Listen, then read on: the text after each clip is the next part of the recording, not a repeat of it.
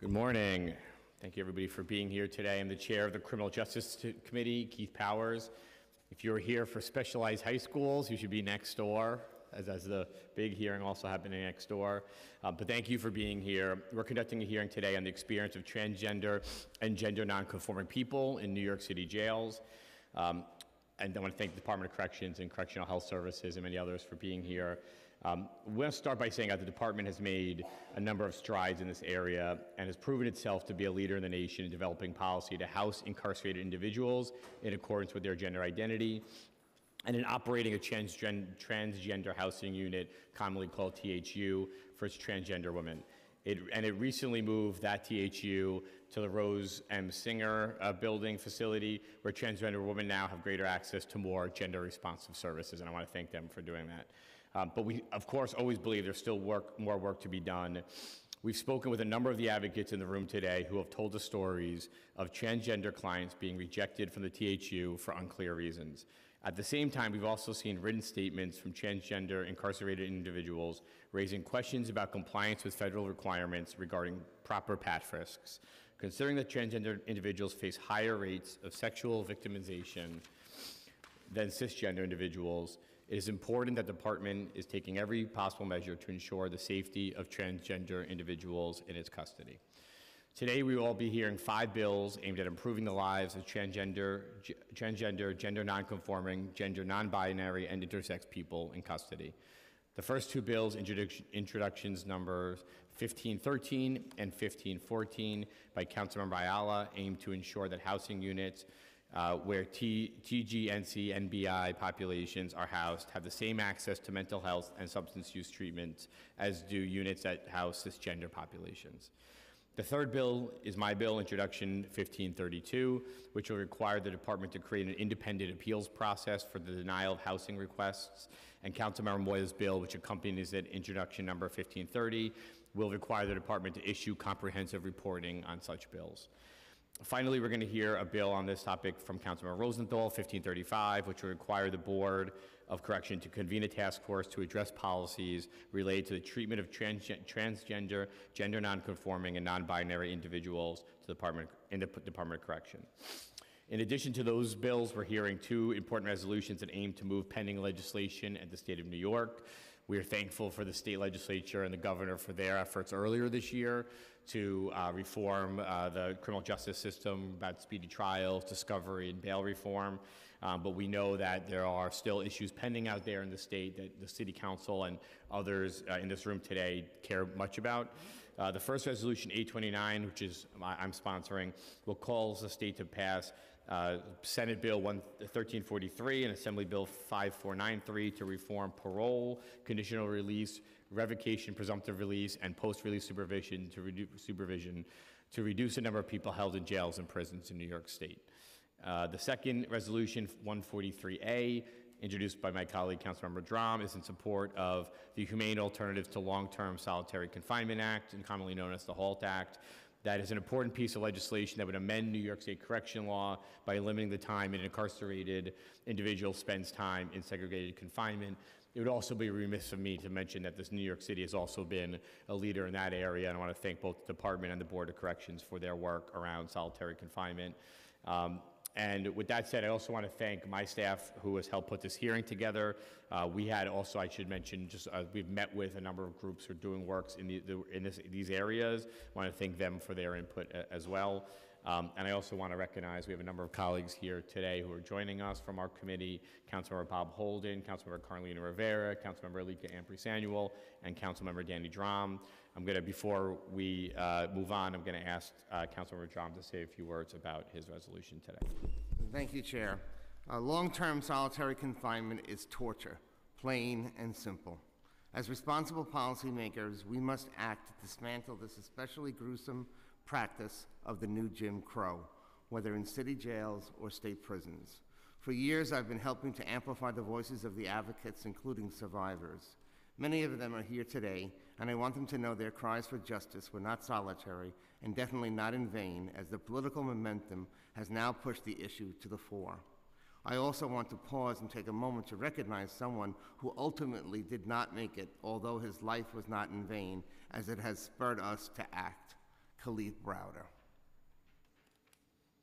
Victims are often individuals struggling with serious mental health issues. This punishment does not lead to any changed behavior, but rather an exacerbation of their agony and an increase in future violence. Even those who go in with adequate mental health leave the Bing with scars that last a lifetime. Resolution 143 supports the HALT Solitary Confinement Act, which is state legislation aimed at curbing the government's complicity in this form of torture. New York City is not where it ultimately needs to be on this issue, but it has made significant strides. However, we must always be vigilant as the Department of Correction has chipped away at efforts and by the City Council and the Board of Correction to lead reforms. Strictly limiting the use of solitary confinement has benefits far beyond protecting individual human rights. Facility security and public safety will improve. For how does unimaginably brutalizing incarcerated individuals and then releasing them to the general population or the general public promote security and safety? It is time for the state to act to end this practice, and I hope that this hearing and the eventual passage of Resolution 143 will encourage Albany to include the Halt Solitary Confinement Act in its efforts to reform the criminal justice system. Thank you. Thank you for that. So we will now hear testimony from uh, the Department of Corrections and I believe uh, uh, Health Services as well, Correctional Health Services as well. Before we do that, we're just going to take the opportunity to swear you in. If every person could raise your right hand, um, state your name starting from the left to the right.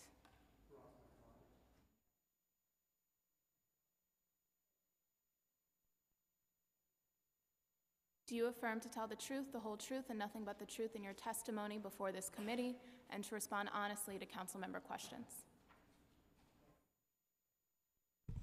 Thank you. You can begin your testimony when you're ready.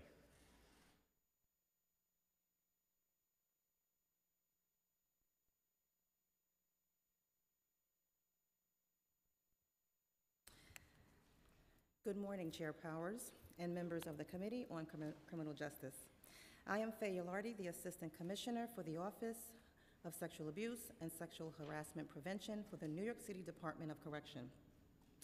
Joining me at the table this morning are my colleagues who will assist me with answering questions today. I have to my right Acting Warden Bibi Suarez, thank you, of Rose M. Singer Center. To my left, I have Prashel Shannon, Senior Institution Administrator who previously served as a DOJ Certified Prison Rape Elimination Act, better better known as PREA, auditor for four years.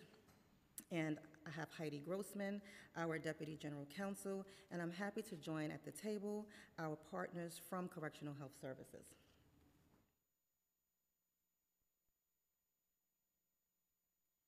Thank you for this opportunity to discuss the department's work and our efforts to provide safe housing and services to transgender, gender nonconforming, and intersex individuals within our custody. Today, I am pleased to provide opening remarks about the grand, I'm sorry, about the groundbreaking work we have undertaken to afford individuals in our custody housing by gender identity, as well as our ongoing efforts to institutionalize policies, practices that support and sustain sexual safety. I will also comment on Intro 1513, Intro 1514, Intro 1530, Intro 1532, and Intro 1535, the five bills being considered today. This, this department is committed to ensuring the safety and security of everyone in our custody. The population within DOC's facilities is as diverse as the population of New York City, and the department recognized its responsibility to provide safe housing, responsive health care, and engaging in programs to everyone who enters the facility. In accordance with Executive Order 16, the department now houses individuals in our custody by gender identity. And we have become a national leader in this practice. and are proud that jurisdictions across the country now look to New York City as a model for the placement and housing of transgender, gender nonconforming, and intersex individuals. Our practices have been developed to close, in close consultation with leaders in the LGBTQI policy and advocacy communities, as well as through conversations with cities Commission on, on Human Rights. We have also worked to provide our uniformed officers with sensitive and accurate training on the needs and rights of Can you just close the door? Sorry about that. Okay, where was I? Um, So we have also worked to provide our uniform officers and with sensitivity and accurate training on the needs and rights of transgender, gender nonconforming, and intersex individuals in the department's custody in order to ensure these individuals are treated with understanding and respect. The department is committed to safe housing, and during intake, officers complete a security screening tool to assess an individual's risk of victimization. Categories that are assessed by an intake officer include, but are not limited to, whether an individual is small in stature, the nature of the crime an individual is accused of, whether or not an individual has a history of violent crime or committing sexual abuse, whether or not an individual has been a victim of sexual abuse, and whether an individual's identi- whether an individual identifies or presents as gender nonconforming, and whether the individual is LGBTQI. The affirmative items checked on the screening tool are scored, and in consideration of additional security information, a housing placement is reached. The department takes special care to separate those who may be at risk of abuse, potentially including those who are gender nonconforming from those known to the department to be abusers. In some cases, depending on their score on the risk assessment, it may make sense to house some gender nonconforming in protective custody. In other cases, that may not be warranted.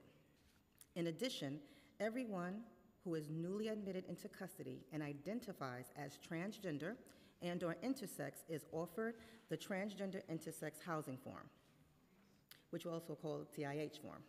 The TIH form, which specifically asks if the individual identifies as transgender and/or intersex, is a critical piece of the department's process of identifying individuals eligible for the transgender housing unit known as THU. The TIH form also affords transgender and/or intersex individuals an opportunity to indicate if they would prefer to be housed within a male facility, a female facility, or the THU. The THU was created in 2015 and was initially housed in male facilities before moving to Rosie's in July of 2018. Our THU model has set the national standard for transgender and intersex housing in jail facilities. The co-location of the THU with Rosie's has allowed transgender and intersex individuals who choose to reside in a female facility with the opportunity to access the same programs, same services, and health care as every other woman within the department's custody. The move also provided an opportunity for certain transgender and intersex individuals to be housed within GP housing units at Rosie's if so choose. In addition to the THU it- unit itself, Rosie's is also home to a dedicated transgender new admission housing unit. If an individual going through intake at a male facility self-identifies as transgender or intersex, that individual will be transferred to Rosie's to complete the intake process. That is to say, the department does not wait to assess an individual before transferring them to Rosie to complete their intake process. Safe housing takes priority over paperwork. Per PREA regulations and the Board of Corrections minimum standards, all THU admission decisions are made on a case-by-case basis. In every consideration, the department considers both the health and safety of the individual applying to the THU unit. The safety and well-being of the individuals already in the THU unit, and overall management and security operations, the transgender or intersex individual's view on placement with respect to his or her own safety is given serious consideration in this process. From October 2018 to March 2019, the department received 115 applications for the THU. The breakdown of those applications is as follows. Of the 115 forms received, 29 individuals preferred to be housed in the male facility. Of the remaining 86 individuals seeking admission to THU, 12 individuals were discharged before an assessment could be completed. On the remaining 74 individuals, 62 were placed in THU and 12 were denied for safety and security reasons. In the same six-month period, three transgender men were held in DOC's custody. Per their request, all three individuals were housed at Rosie's. Just as any individual in DOC's custody can apply for placement in the THU, any individual can request to leave. If an individual no longer wishes to be housed in the THU, or if a transgender or intersex individual no longer wishes to be housed in our general population unit within Rosie's, they are able to complete a voluntary discharge form. All THU requests are closely and thoroughly reviewed by the PREA unit, which is comprised of a PREA supervisor, a representative from CHS, and the warden of, of the designated facility. The review considers the individual's views with respect to his or her own view, as well as information from the risk assessment tool. The department then makes a case-by-case determination about how to ensure safety for it, each transgender or intersex individual in our custody, as, requ- as required by the federal standard and also the Board of Correction minimum standards. An individual will either be approved or denied housing within the female facility if the individual imposes a safety and/or security concern. Any individual denied placement into the THU is informed of the reasons for the denial and has the opportunity to have their request reconsidered with the understanding that a secondary review will be held if the individual has new information to present. At present, the PREA unit handles these appeals. We are in the process of developing a more robust review process. However, in the details of this plan, I'm sorry, however, the details of this plan are still in development. We look forward to updating the council on our appeal process as it comes to fruition. It would be impossible for me to speak about the progress the department has made in its efforts to safely house transgender and gender nonconforming and intersex individuals without discussing the great work we have done to adhere to increase our PREA compliance. Since 2015, when the department announced it would be voluntarily implementing PREA standards, we have worked tirelessly to implement staff-wide PREA training and refresher courses and draft policies and operational practices in line with PREA guidelines. As part of the federal grant that assists correctional facilities in becoming PREA certified, the department has enlisted the assistance of the Moss Group, a nationally recognized expert in PREA and LGBTQI issues, to outline a multi-year plan that will bring the department into full compliance. The department has also successfully trained over 10,000 DOC employees on PREA, with training provided to all incoming recruits, and there are monthly scheduled trainings for all DOC non-uniform staff, contractors, and volunteers.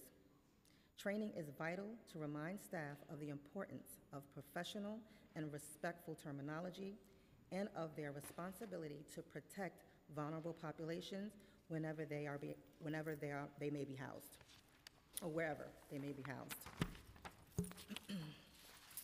Finally, I will now com- comment on Intro 1513, Intro 1514, Intro 1530, Intro 1532, and Intro 1535. Every individual in DOC's custody has equal access to health care and mental health care. The department supports the spirit of Intro 1513 and 15 and 1514. In fact, the department is home to the oldest methadone clinic in the country and wants to impress upon the council that providing these services to everyone is a responsibility the department takes seriously.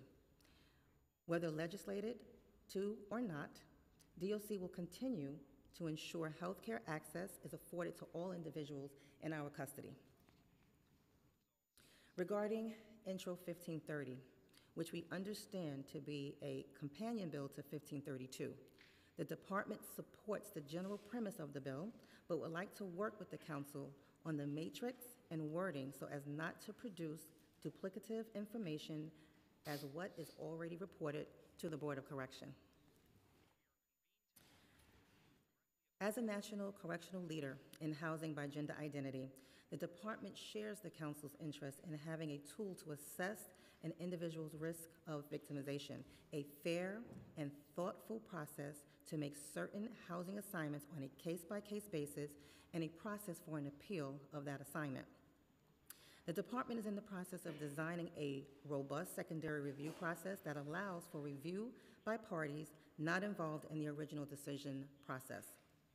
As bill negotiations continue, we'd appreciate the opportunity to talk through our existing process with council more fully and work together to devise legislation that supports fairness and safe housing for all. Intro 35 requires the creation of a task force, which mainly, which mainly with mainly internal parties to advise on DOC policies and security protocols. While we appreciate the spirit of cap collaboration of this bill, the department cannot support this legislation. The department has worked closely with advocates and LGBTQI policy experts to advise our existing policies and programs.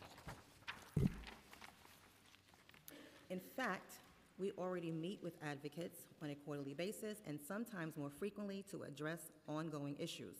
However, there is a difference between, a difference from bringing in issue areas experts to advise on policy creation and having issue area experts who are not experts in corrections and security make recommendations on security policy.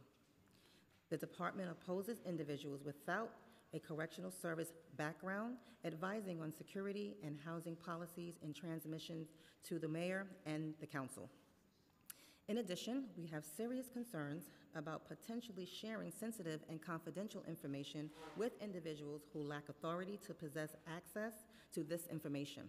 However, we remain open to additional conversations about avenues to integrate LGBTQI advocates into operational decisions as we have with advocates concerned with visiting practices, program offering, offerings, and bail procedures.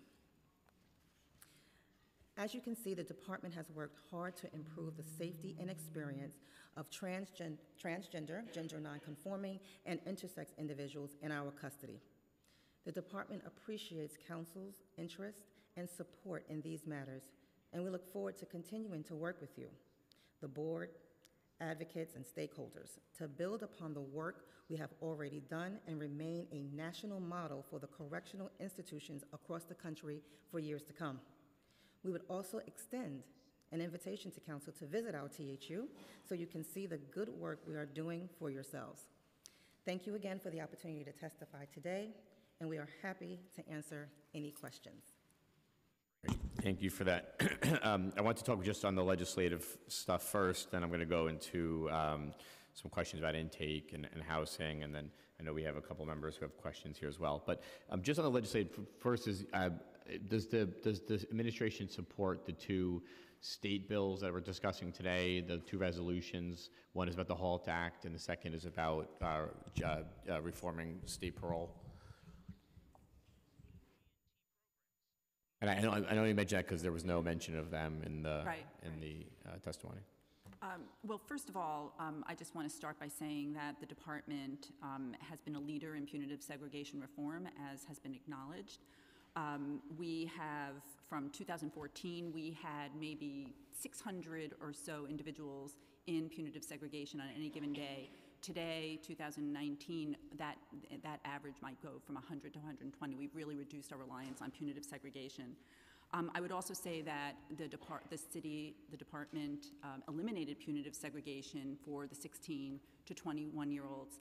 Um, the, and the department eliminated punitive segregation for the 18 to 21-year-olds. It, it's the first in the country, as we understand it, that has um, eliminated punitive segregation. Um, The department also reduced um, the maximum um, punitive segregation time from 90 days to 30 days uh, um, with, ex- under, uh, except under exceptional circumstances. And we only allow people in, uh, to remain in punitive segregation for 60 days within a six-month period. We also allow people seven days um, out of, in between their 30-day sentences. Um, So the, so we feel that we've made a great deal of progress and we're seeing great success and we have reduced our reliance on punitive segregation. However, and so we feel this current system is working. Um, But the bill that, um, the state bill presents serious operational concerns for the department. So we um, have disagreement over the process and um, happy to discuss this at, um, at another time, but that, that is the position of the department. And, and on the state parole reform?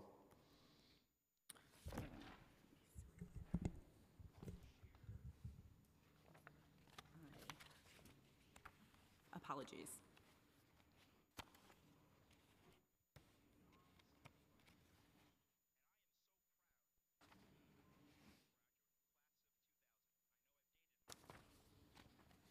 We are supportive of this.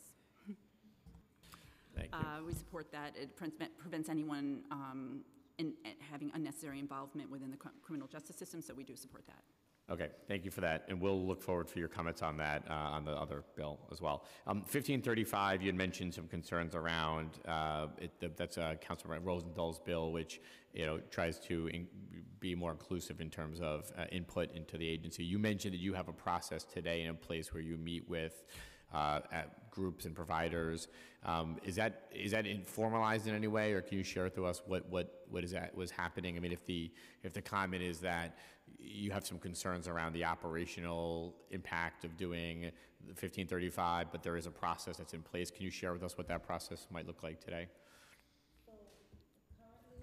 Or currently and in the past, we have met with some of the advocates and also stakeholders um, in working group settings. They have been very instrumental in the opening and, of the THU and um, supplying information that we wouldn't normally have to open the THU. After that, we have had constant co- communication with them um, in regards to training.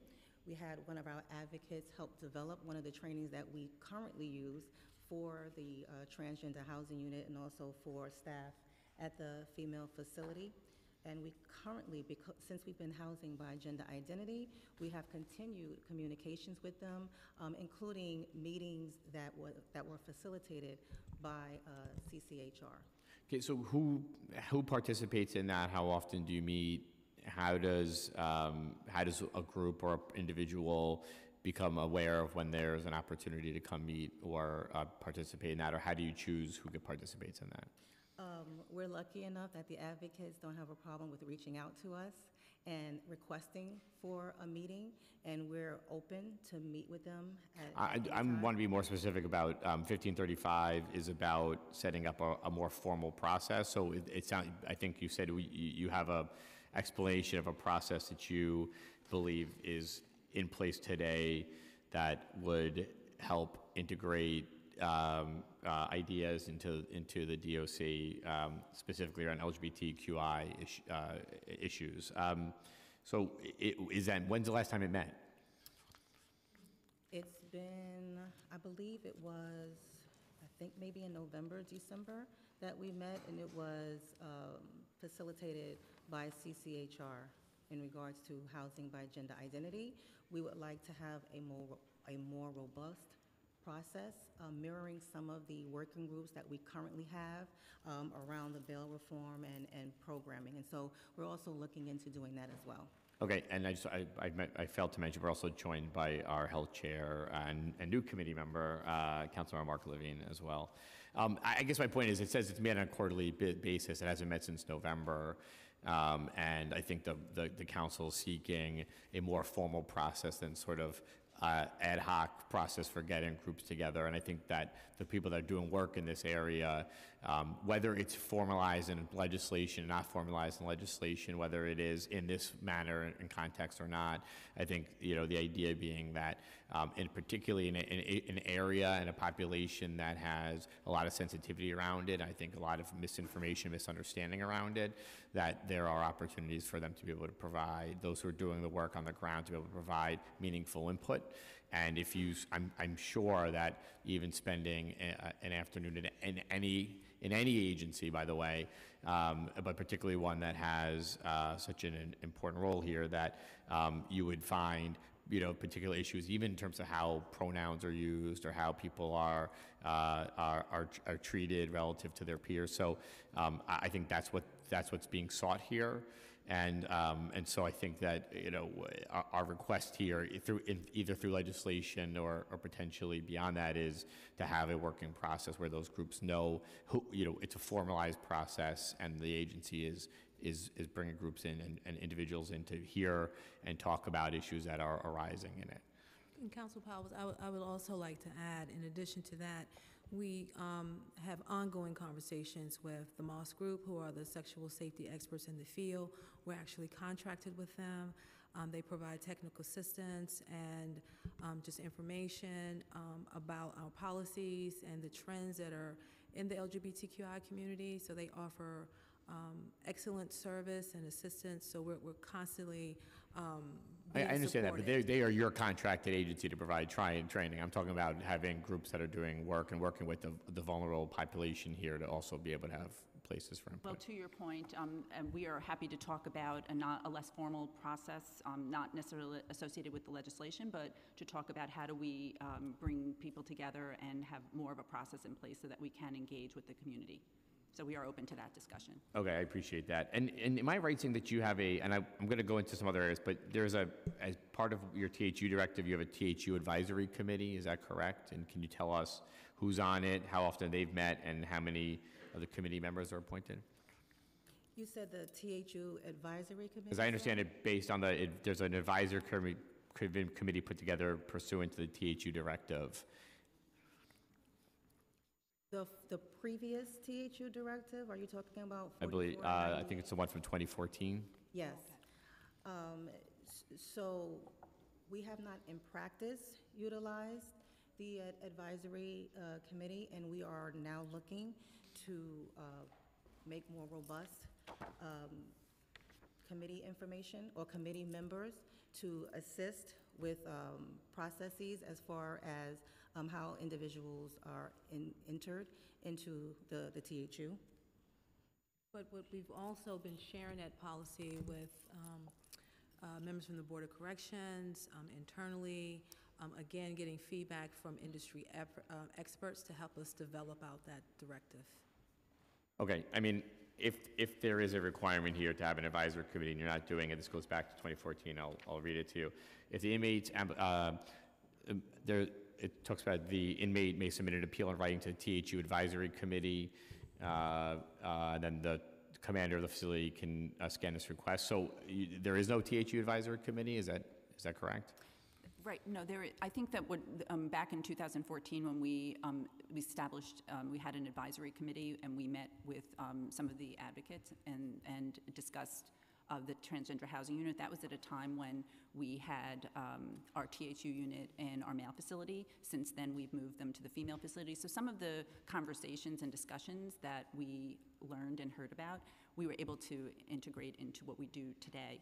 Um, But we, we are open to talking about how we um, do a, work more with the advocates and, and establish some sort of process to communicate, and even if it's, it's informally setting up uh, regularly scheduled meetings, we're open Well, to I, that I just want to discussion. take a step back, though. I, now, we're talking about something uh, different. I think one is about having formal input into the processes that, and the, and the operations without, you know, I understand the concern about making that, uh, making that a, a, uh, making, making policy versus advising. I understand that concern. But the, but the, in your directive, you have it, I mean, it's stated appeals process for housing through an advisory committee that you're saying, it sounds like, doesn't exist. We're also here with a piece of legislation today asking for an appeals process, and the agency is saying that you are working on one. But it seems, I, I- and I'm just raising a, what I think is a, which is a point from this directive, which is that you don't have an appeals process. Is that correct? And, but, but your directive says there is one, I mean, your directive seems to state there is one, and if a person, an inmate- wants to appeal their, their housing based on a rejection, that there's a committee to, to do that. Right. So, uh, right now, we're, um, we're still, our appeals process is, um, under development, and we are trying, we're exploring what it, ha- what the process is going to look like. And we, in terms of having a committee that has another layer of review, we're happy to work and talk further with the council about what that appeals process looks like. Uh, eh, In terms of, I guess I, I was thinking advisory committee outside of the department, I don't think that's what we were thinking, but, um. No, I'm, anyway, I'm, we're I'm- working on it. I, I was talking about like an advisory committee to help inform policies. Uh, uh, Going beyond the topic of sort of uh, committees that are established here in Department of Corrections, um, my, my, my question was whether there was this appeals process that was set up for it. Uh, My legislation in the council today actually allows for an appeals process, but we're, but we're actually five years past when you have passed a directive that's, uh, you have instituted directive that says you would do that on your own. You don't have one today, and you're asking us for more time to set up one and, and to work with us on the legislation. It just begs a question about why there isn't one in place today. If there was a going to come an agreed upon uh, uh, idea here that, uh, that there should be a process for an inmate to be able to appeal their housing. My understanding is we do have an appeals process in place right now. It's just not as robust as the proposed legislation. Um, So, um, so we, we do have an existing appeals process. Can you tell us what the appeals process is today? It's very general in that a person can, um, once denied, they can seek reconsideration, and then um, an evaluation is, is done of that person's um, appeal, and. Who um, does the it's- evaluation? um, The PREA unit will do that evaluation. The Who does? The PREA unit will do that evaluation. And, and who does the original, the, who, Same, the PREA unit. so the same people that make the decision, re- re-review and do the? Well, I would say that, um, that that's a fair point, and that is something that we are looking into in terms of how we develop. And we are happy to work with the city council, again, to talk about what that would look like. Um, But we did want, and what I would also add is that this is a new unit. Um, We started um, housing um, consistent with gender identity in October of this year. We, there are a lot of lessons learned. There's a lot that we're developing. We're pretty much the leaders, and there's really no roadmap on how to do this. So we are trying our best to take lessons learned and improve and constantly um, do better. So we, we, and we learn a lot from operationally on when we start a process in place that's even basic, we then learn about what the needs are and how we can improve. So that's, that's our goal, is always to I- I understand that. I mean, I'm, I'm just, I'm, I'm just holding a 2014, from December 3rd, 2014, uh, directive around transgender housing unit that talks about an appeals process that doesn't exist today. And it begs the question whether you are taking this seriously enough. If you're not willing to put that in place, you're having the existing people who are reviewing it do the appeals process and then coming to the council and asking uh, whether to work with us on a process that we're asking, that we're ourselves trying to set up. And, you know, for, for, um, for any individual who's raised concerns to us, it does, it does make us look, as a city, as a city as a whole, and, but certainly a department, look like we're not taking this issue seriously if we're, if the, if the sort of the testimony today is, we're working on it, because then we'll be here next year and we'll have another hearing on this and potentially not be anywhere absent passing legislation to do something about it. Well, um, I think um, what I would also add is that we, the department is adding a director for the LGBTQI community to um, come to the department. They would be, this individual, once um, on board, uh, may also play a role. So as I said again, we are constantly evolving, and we are trying to um, be a leader in um, housing consistent with gender identity. Um, The appeals process is one piece and one layer to this, and we continue to hope to um, do better. And we are going to work on this and create a more robust appeals process. Um, Okay, um, I'm going to move on, but I, uh, actually, I'm going to, I want to go into housing and intake some more, but I will, um, I'm going to just let- allow my colleagues an opportunity to ask some questions, Um, and we're going to start, I think, with uh, Councilmember Rivera. Hi, thank you, Chair Powers. Good morning, everyone. Thank you for being here. Um, I have a couple questions uh, uh, about healthcare, and we had a very good conversation at a previous hearing, along with Councilmember Powers, about sick call and producing people that are detained or who are uh, currently incarcerated into receiving uh, to receive healthcare services.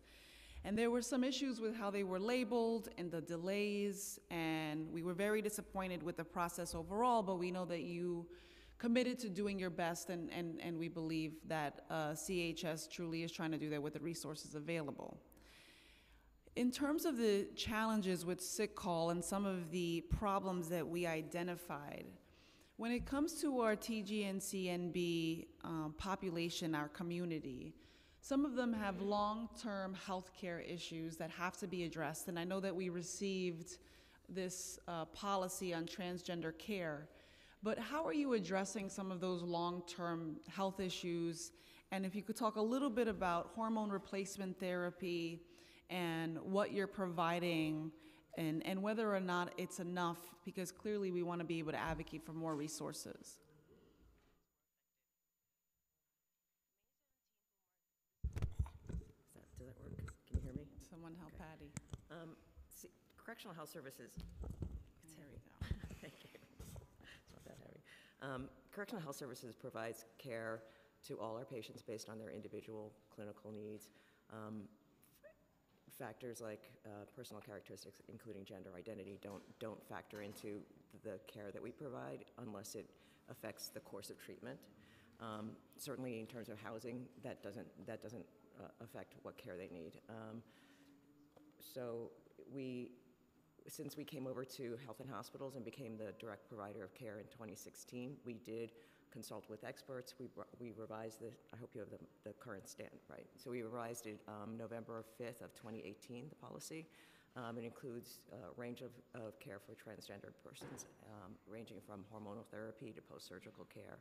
Um, We have, obviously, um, the specialists available at Bellevue and Elmhurst, as well as the resources of health and hospitals, including their advanced training certificate, which our, which our staff undergo.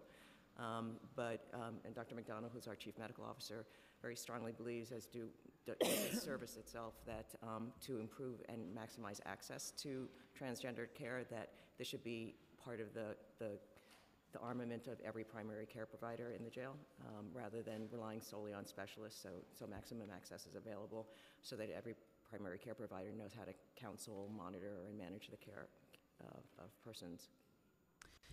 During the hearing, we saw that a number of inmates were, uh, in quote, "not produced by DOC," and so that number was um, very con- concerning. Do you have any numbers specifically on people that identify as TGNC-NB in terms of not produced? Because when it comes to something like hormone replacement therapy, the consistency there, along with a number of issues, and I'll ask you about um, mental health and people in, in observation units. Are you, do you have those numbers specifically for why they're not being produced? Uh, We currently do not, and again, we're not, we're not tracking uh, patients by their gender identity. Um, We are aware of the production issues. We continue to work with department um, to improve that. Um, I think there are efforts currently underway um, with council um, to have the department um, report more robustly the, the underlying reasons under production and non-production. And people that are in the, the THU, do they have access to detox treatment or do they have total access in, in terms of whether they have to transition um, and, and they qualify for a mental observation unit?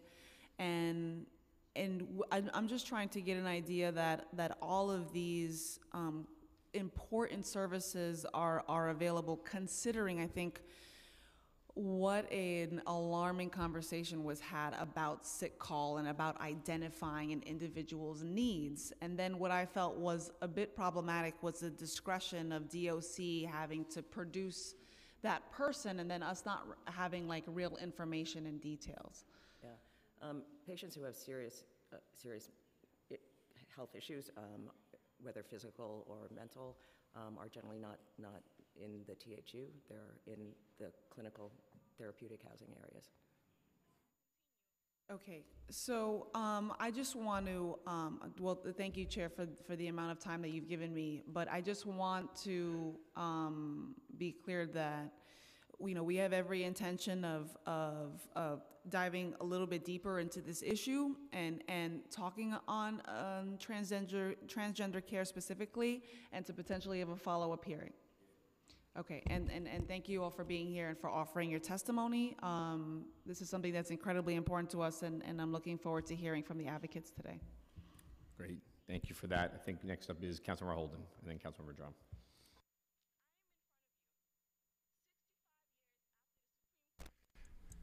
Um, Thank you for your testimony. Um, One, I have a couple of questions. You got to give me a little more advance notice next time. Can I We ask got one it. more question? We can, All right, yes, you- we'll- yeah, we'll give just Bob You're a... preparing, Bob? Okay, great.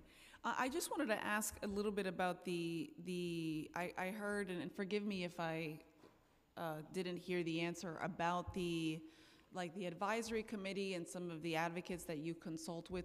How often does that happen?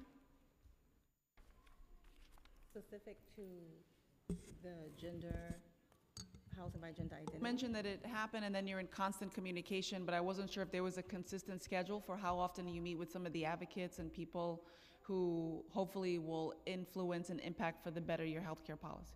So currently, we, we don't have a consistent schedule um, as it relates to advocates to speak particularly about um, THU. Um, However, we are expanding our reach. Um, You know, we're, we're um, open to, to kind of structuring that process um, to make it better. Um, But we are constantly in contact with experts in the field for LGBTI issues, and we constantly get feedback with them. Okay, I, w- I would, you know, just encourage you that they're all experts because not only do they have lived experiences, but they, this is their lifetime, you know, vocation. This is their, their goal is to be great advocates for, and for equality. And, and the last question was about, you know, in your testimony, you mentioned that the department successfully trained over 10,000 DOC staff on PREA. How many staff are there overall in the Department of Corrections? Right now, I believe we're almost a little, little under 12. Yeah, a lit- little under 12,000. 12,000. And how often does the training take place? Definitely on a monthly basis. We have two different trainings happening. We have the initial four-hour PREA training required by the PREA standards and the BOC minimum standards, and we also have the two-hour refresher. That's also required by, by both standards. So each person is obligated to take the training, the initial longer training, and then a refresher every month? Every two, no, every two years. is- Every two years? Yes. Just want to make sure that I was hearing that correctly. Yeah, I there get are the monthly monthly thing is like an trainings, open yeah. training where people can walk in. No, no, There no. are monthly trainings Yeah. going on so that everyone in the department has the initial training, so we do that on a monthly basis to capture everyone. And then on a monthly basis, we also have the two-hour refresher, because individuals who are already in their two-year anniversary have to now do the two-hour refresher. Okay, all right. Um, And every two years. Okay, I got it. Thank you. Thank you for the, the extra time. Yep, thank you. Okay, I'm back. Um, The voluntary discharge form, um, could you give us an idea of the timeline? So if somebody submits that on a Monday, will they get it reviewed a couple of days, three days, 10 days? What- What's the timeline on that? It's, it's almost Can you, can you use the microphone? Oh, Sorry, sorry, just I'm for, sorry. It's, it's almost um, immediate, so it depends. Um, It's a case-by-case uh, analysis, but we have 24 hours to, to review it. We might have to receive additional information that will require an additional time, but within 24 hours, we try to make a determination. So who reviews it? The PREA unit reviews it? Yes, And, and it's Alo- usually immediate, you said? yes. Okay. Um, I just have a, on intro, um, I, I guess it's fifteen thirty-five. Um, you said the meeting, that you had an informal meeting in November or December of last year, um, with the review committee. Um, is, is that right?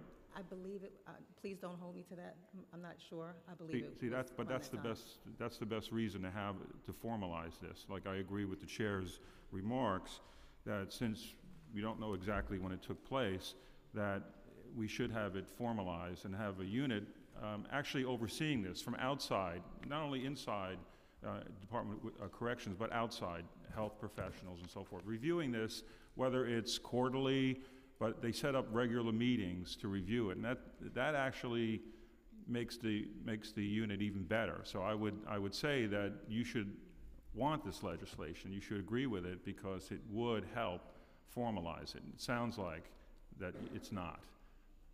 So we, we agree that that's a great idea, and that is something that we're, you know, going to work to um, develop and, and really try our best efforts to start putting something together that's more formalized, because we do understand the value that they bring um, to us as correctional professionals, and we want to make sure we're doing our best efforts. So we- you, we you're gonna support the fifteen thirty-five intro? Well, we will support uh, formalizing um, a more consistent um, uh, way to meet with our advocates in the community um, in order for us to really take the Well, value. of So what you they should bring. support this, because this does formalize it, you haven't, I- and if it's, Yeah, I, I, um, we, um, again, I think that what we- we would just, um, restate what we, um, articulated earlier, which is that we, uh, don't support a formalized, um, through legislation process, but we are willing to open up and talk about what, um, a more formal, um, internal process would be within the department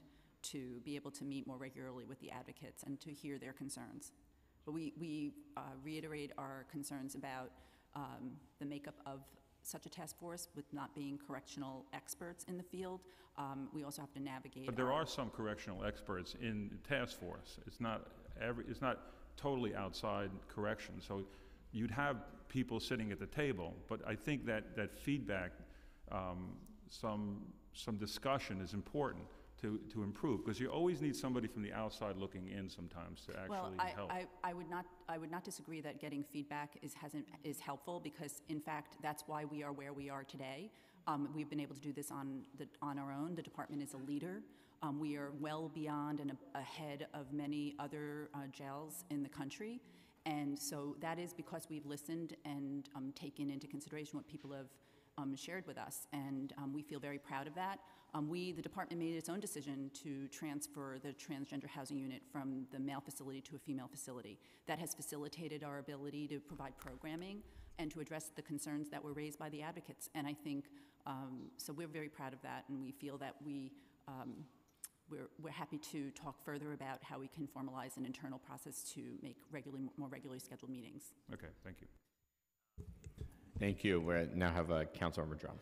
Thank you very much, and um, I'm very disappointed to hear that you're not supporting my resolution on halt, but I figured you probably wouldn't because you're constantly asking for uh, variances to the um, segregated housing uh, regulations, and so that really does not surprise me. I'm- I'm- I am glad to see that you've reduced the numbers, uh, and certainly I am glad and took an active role in helping to eliminate uh, solitary for the younger people. Um, But I'm, I, I am disappointed, to be honest with you, that you still don't uh, see um, solitary confinement as torture. Um, So that is very concerning to me.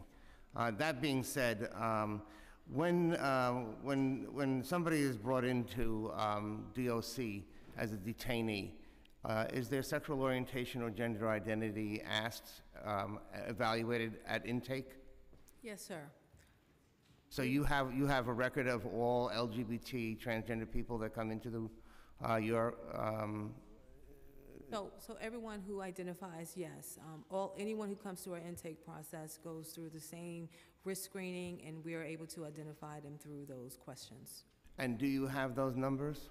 I'm sorry? Do you have like a, a com- a, a- a total of those numbers? Do you have those numbers with you today? Um, How many there are? For each, for anyone. For each category, for LGBT, how do you identify it? Is there a sheet, or what, what, how is that done? I'm just trying to get an understanding of how it is that you go about identifying these individuals. So that information is tracked through our PREA risk screening, um, and they, um, um, at, at, on the risk screening, they state which, um, in, which gender they identify as, and we track it through our PREA risk screening. And but what if, uh, for LG, LGB? lesbian, gay, bisexual. Do you track that? Do we track the, so we, we, anyone who identifies in that classification, we track. Lesbian, gay, bisexual, transgender, intersex. So how many detainees last year, for example, would you have had that identified as LGBT? So we've been using the PREA risk screening instrument since 2015? Since 2016. So over the last two, at least two to three years, we've been tracking that information. But how many? I- You say in your testimony you had 115 applications for the transgender housing unit, but what about for the other groups? So those numbers, um, as far as the applications total, that's from October 2018. And we only brought the, the numbers from when we um, had moved the housing unit to Rosie's. For the other, um, Let me- I, let me just say that I think because of this, the topic of this hearing is about the um, housing with gender identity, and in particular transgender um, and intersex, we are able to provide information about um, those placements in terms of the um, other um, individuals who identify as lesbian, gay, um, bisexual. Um, We, we can get back to you with information. Okay, I really would like that, and um, I don't think they're all that separate, to be honest with you, Uh, and especially since you brought it up in your uh, testimony, I just would have thought you would have been, um, you know, ready to answer that question. Um, How many um, people, excuse me, Yep. excuse me, Councilman um, Dromm, we actually do have those numbers, and we'd like to provide I them have, for you. I have current. Okay, good. For you. I don't have how many, I'm sorry, I keep doing, I'm so sorry. I don't have the numbers of how many in the last year, but cu- I have the current numbers if you would like me to give you those numbers. sure, So currently, uh, and these are individuals from this risk screening tool who identified to us. We have 39 individuals who identified as bisexual.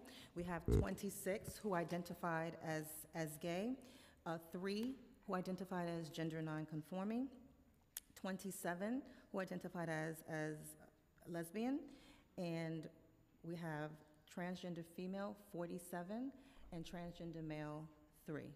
and no gay. Did you say gay? Yes, sir. How many gay? 26. Okay, good, thank you. That's what I was trying to get at. I appreciate it, all right. Um, Now, on the advisory committees, are there LGBTQ people? Like, are there, since you're saying that it's not made up of advocates or there are no advocates on it, do you have any LGBTQ people either on the THU Advisory Committee or on the PREA Committee? On our, on our new, in our new directive that we're, we're advising now, it's, it's it's currently in, in draft form, we will have, um, like, uh, uh, Ms. Grossman said, we have a director of LGBTQI um, affairs who will- can speak to that and give us some good guidance as far as the, the community is concerned, um, and that individual will, be- will be part of the advisory committee, Okay, so when uh, somebody is in committee, sorry. When somebody's asking for placement in transgender housing unit, um, how long does it take to process that request? We usually, we have, um, I believe we give ourselves 72 hours, but it really depends. We usually try to do it within 24 hours unless there's additional information that we need to look into um, and, and retrieve, or if an uh, individual requests to be in the transgender housing unit, and let's say um, they're out to court, that might delay the process if we need to speak to them or something like that. But we give ourselves 72, but we try to do it between 24 and 48 hours. Okay, so then the 50, excuse me, the 12 individuals who were discharged before assessment would have been discharged before, what, 24 or 72 hours, somewhere in that range? Yes, sir. Okay. Um, How many co- corrections officers and administrators at DOC are transgender or um, LGB? We did not bring the numbers, of- you're talking about staff, right, sir? Staff? Yes, we didn't bring the, the numbers for, for But staff you do collect that identify. information? Do you, do we have the information? No, do you collect that information? I'm not sure. We, we, at the PREA unit, do not, because the PREA unit focuses on the um, inmate, on inmate population, and staff on inmate allegation population, so we don't collect that. Okay, so uh, that'd be interesting to know if, um, if uh, DOC does collect that at time of employment. Um, And what type of special programming do you have for transgender individuals um, in Rosie, or even in other areas? So, our transgender um, incarcerated citizens are completely um, integrated into the Rosie's facility. So, all the programs that are available to cisgender women are offered to our transgender um, women. Um, They also, in addition to that, get some specialized programming. Um, They have the, um, it's the I-CAN program, which provides um, healthy relationships, gets them prepared for work readiness, provides um, literacy, health and wellness training, um, any relapse prevention if someone has a history of substance abuse, and they also offer additional trauma-focused um, programs specifically for our, our transgender women. And what about for younger inmates, uh, in- younger detainees? Both, I guess. Um, Do they have an opportunity to go to school, or how does that work? Yeah, yeah. Our 18 to 21-year-olds have the opportunity, if they so choose, to go to school. Okay, and what about an- anybody younger than that? 16 and 17-year-olds who uh, are in our adolescent um, at at Horizon, uh, they have an, op- they go to school every day as well. They go to school every They're day. mandated to go to school. Okay, and just let me also ask about, in the, in this um, directive, I guess it was titled, uh, dated um, 12/3/14, um, it says that the Transgender Housing Unit, THU Advisory Committee, shall meet monthly. Does that occur? Not, not currently, sir, it does not. So this directive is not being followed? So the directive is being revised um, currently um, as we speak, and we're sharing that directive uh, with members of the BOC to, you know, improve upon that directive. We've been sharing, we've been working with our partners at CCHR um, regarding the directive. And what I will say again and reiterate is that as, as we've discussed, October, we um, opened, um, we started housing consistent with gender identity. Uh, So whatever, so policies and um, work that we're working on, we're constantly improving, and we always see a need to, sometimes we see a need to, to revise and improve upon um, policies that were dated from December. We've a lot of lessons learned between December and now, and we're trying to operationalize and improve the policies. So that's why we're constantly trying to incorporate feedback from um, the community and from uh, other stakeholders who are interested, so that we can improve and enhance the existing directive. Okay, because here it also says in the same sentence, "The THU Advisory Committee shall meet monthly. Meetings shall be chaired by the Deputy Commissioner of Strategic Planning and Programs. The advisory committee can make recommendations on reconsideration requests for placement in THU. However, only the THU Evaluation Committee can make a placement determination."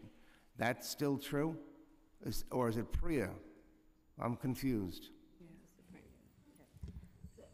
So there has been, thank you, there has been a, a lot of changes as far as, as staff as well, uh, since that policy has come into exis- existence. And we've learned a lot of things, again, from the advocates on how to improve the process. And what we did not do was put it in, in written form yet.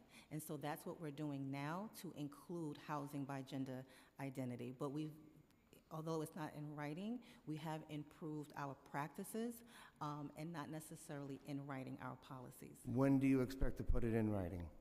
It's in draft form.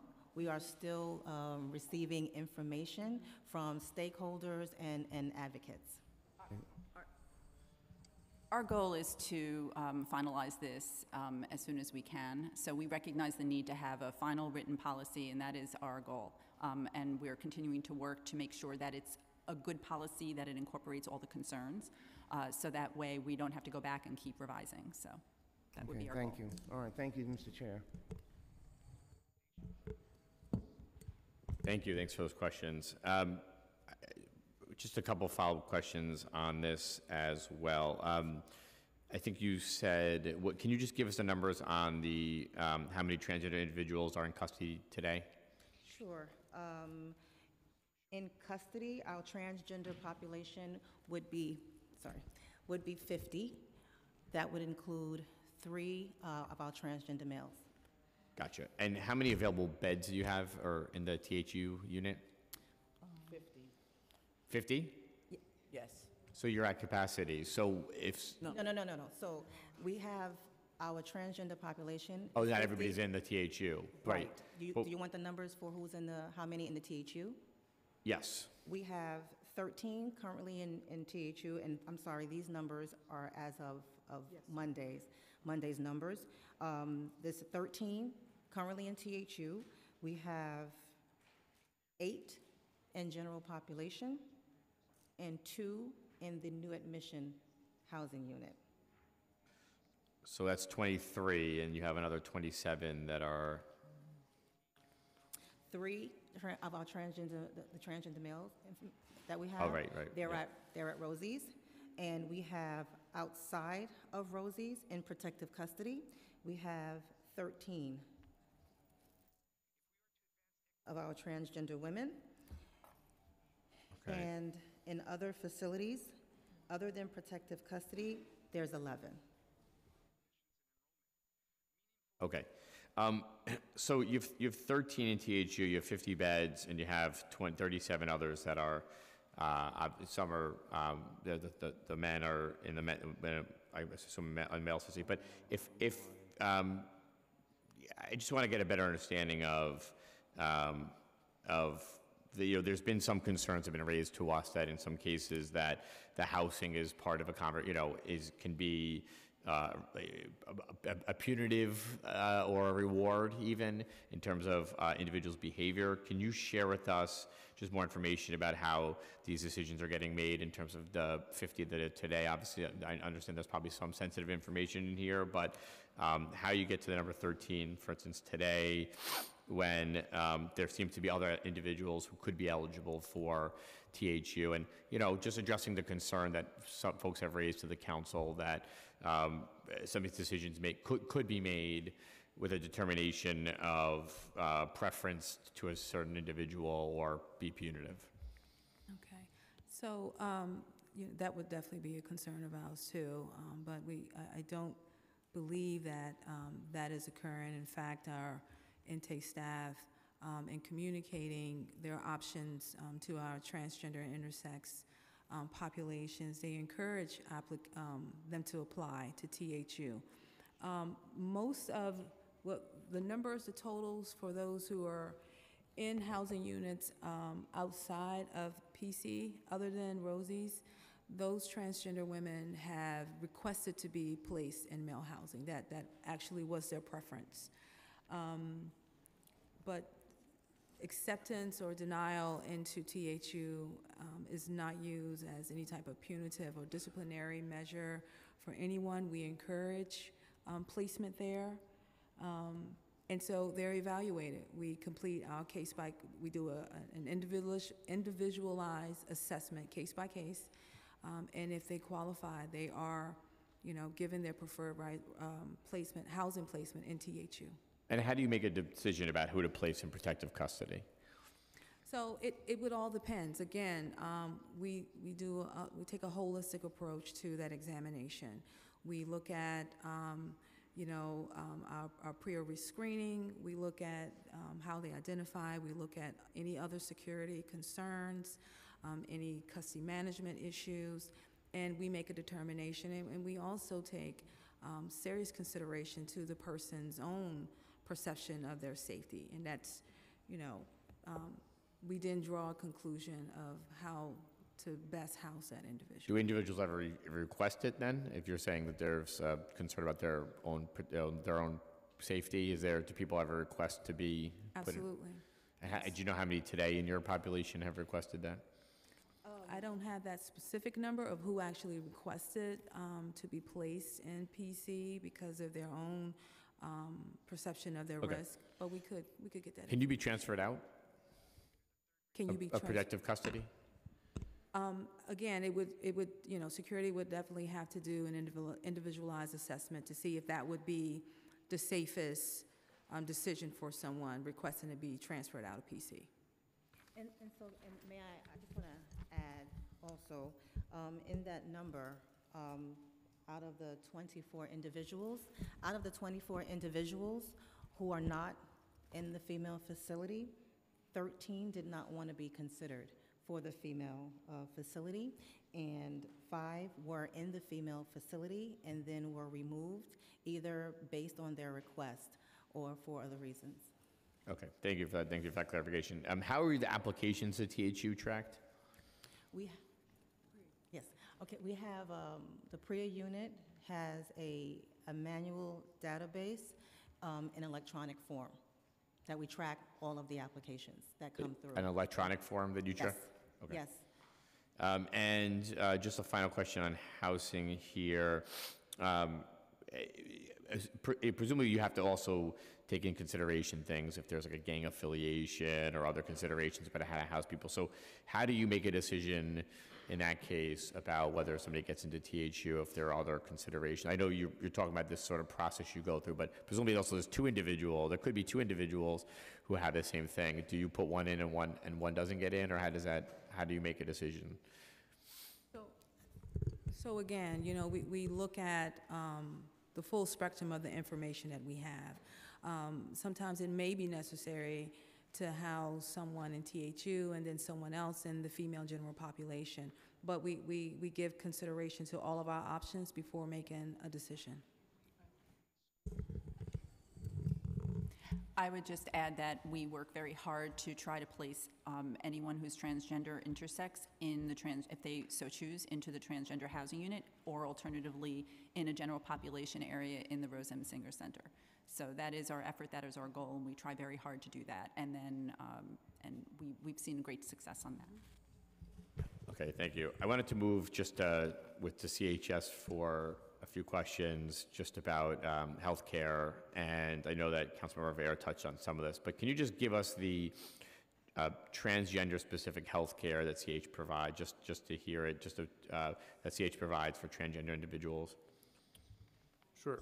Um, So, um, you know, treating transgender patients uh, with respect is part of our core mission. Uh, We understand um, the, the trauma that is often associated with the life history of all of our patients, uh, but in particular, uh, the pathway to jail for, um, for our transgender patients is often one marked by trauma and stigmatization in, in our society.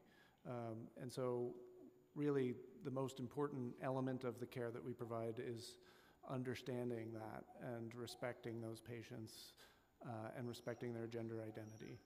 Um, there, um, so we start there with our training uh, for our staff, um, attending to the sensitivity, uh, the appropriate use of preferred gender pronouns, um, and the way that we empathize and interact with our patients. Um, there are details of uh, hormone therapy, which often comes up, um, and we have um, policies that we've developed um, in collaboration with work groups, with experts. Um, but as Dr. Yang mentioned, we also believe strongly that this should be a function of our primary doctors and physician assistants and NPs in our system. We want to make it a primary care function. It is a core expectation that our staff have expertise and, and the ability um, so that the lack of a provider who knows what they're doing is not a barrier to, to continue. Can you tell us what's the, uh, on the topic of hormone replacement therapy, can you tell us what the standard dosage is? So uh, I just want to um, clarify some critique of earlier policies before the transition to health and hospitals. Um, The un- uh, provider uncertainty was identified early on in this process as a barrier.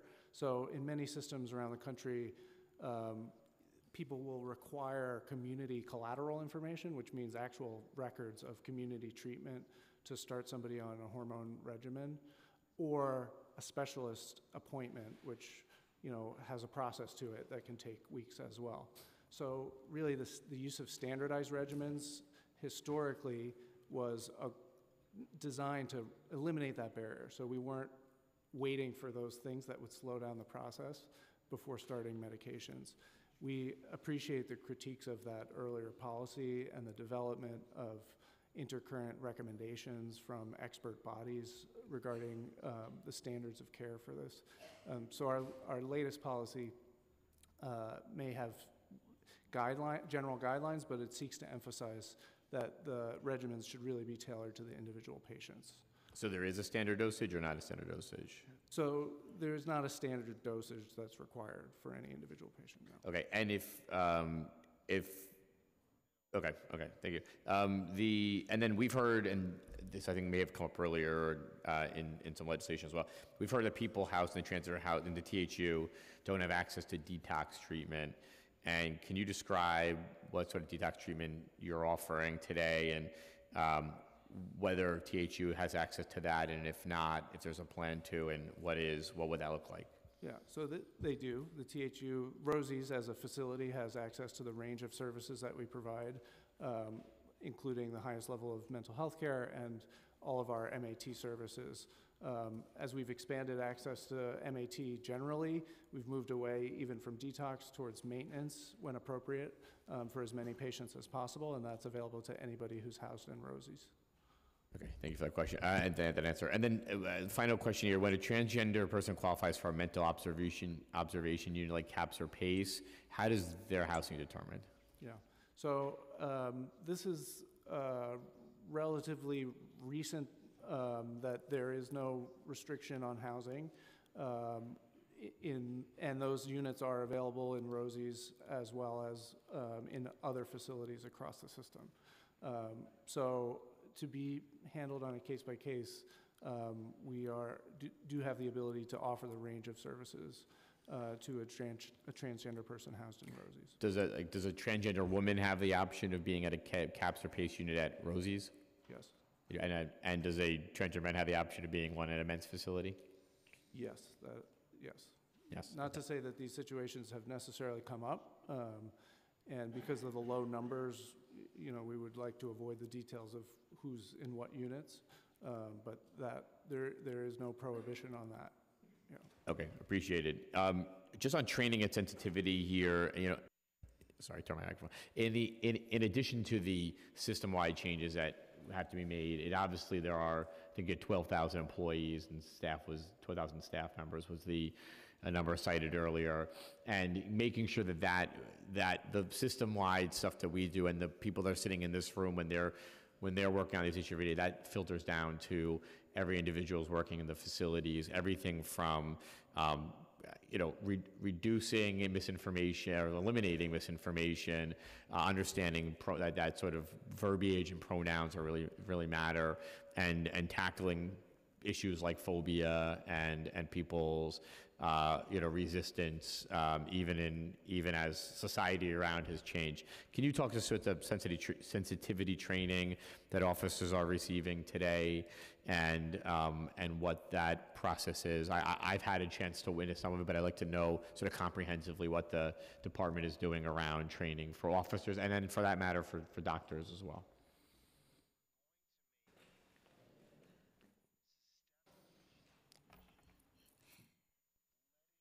So um, we were working, like I said earlier, very closely with um, a few of the, the advocates who developed the um, sensitivity training for, for staff. And we ensured, I believe, uh, we had almost everyone at the female facility go through the sensitivity training, but definitely staff who would come into contact with our transgender population first. Um, That includes the intake staff or the escort staff at the other facilities, but we try to make sure that everyone in our female facility has that sensitivity training. I think everybody should have that training, and Absolutely. and the um, you know the concern that that I have and is that um, even beyond just providing training and, I, I, and a video and that I think it's every two year training that you still have you still have a cultural shift to make in terms of a better understanding of the, the issues that are, are particular to transgender community and that there is um, even as I'm just in frank to be frank, even as society has made, I think, significant strides in certain areas around LGBTQ, that not every single one of those letters in there is getting has the same uh, information understanding, and there's still a lot of issues around phobia that exist, um, it, both in in the DOC and in other in other parts all around us, and. Um, you know, particularly for those who are in custody, that becomes even a, a larger concern and a challenge. And um, uh, w- w- so, uh, just, just, to- I want to specify, when, when does you, when do you hire an LGBTQ liaison? They are Uh, hired, I, yeah. bel- I believe they're already hired. Uh, We're just waiting for additional paperwork, so I'm not really sure where we are in that process. And that person will be part of the process of doing the, of, of PREA training and, and training sensitivity and in in addition to other issues like meeting with Yeah, stakeholders? we hope to integrate that person into every element as it relates to um, PREA and our our transgender and intersex um, populations. But I would also just like to add, um, in our PREA trainings that we've been conducting since 2014, 2015, um, the four-hour training, there is a, um, a specific model in that training that speaks clearly and extensively about um, gender sensitivity. Um, It provides definitions for all of the LGBTQIs. It, it talks about equality versus equity. Um, and it really goes into touch the culture so that we understand agency-wide the need um, and the unique needs that, that, that our population may have. What, what is the training today? You go through a four-hour and a two-hour, is that correct? You So do a you- four-hour The initial training is the four-hour, and then um, biannually, staff get the two-hour refresher.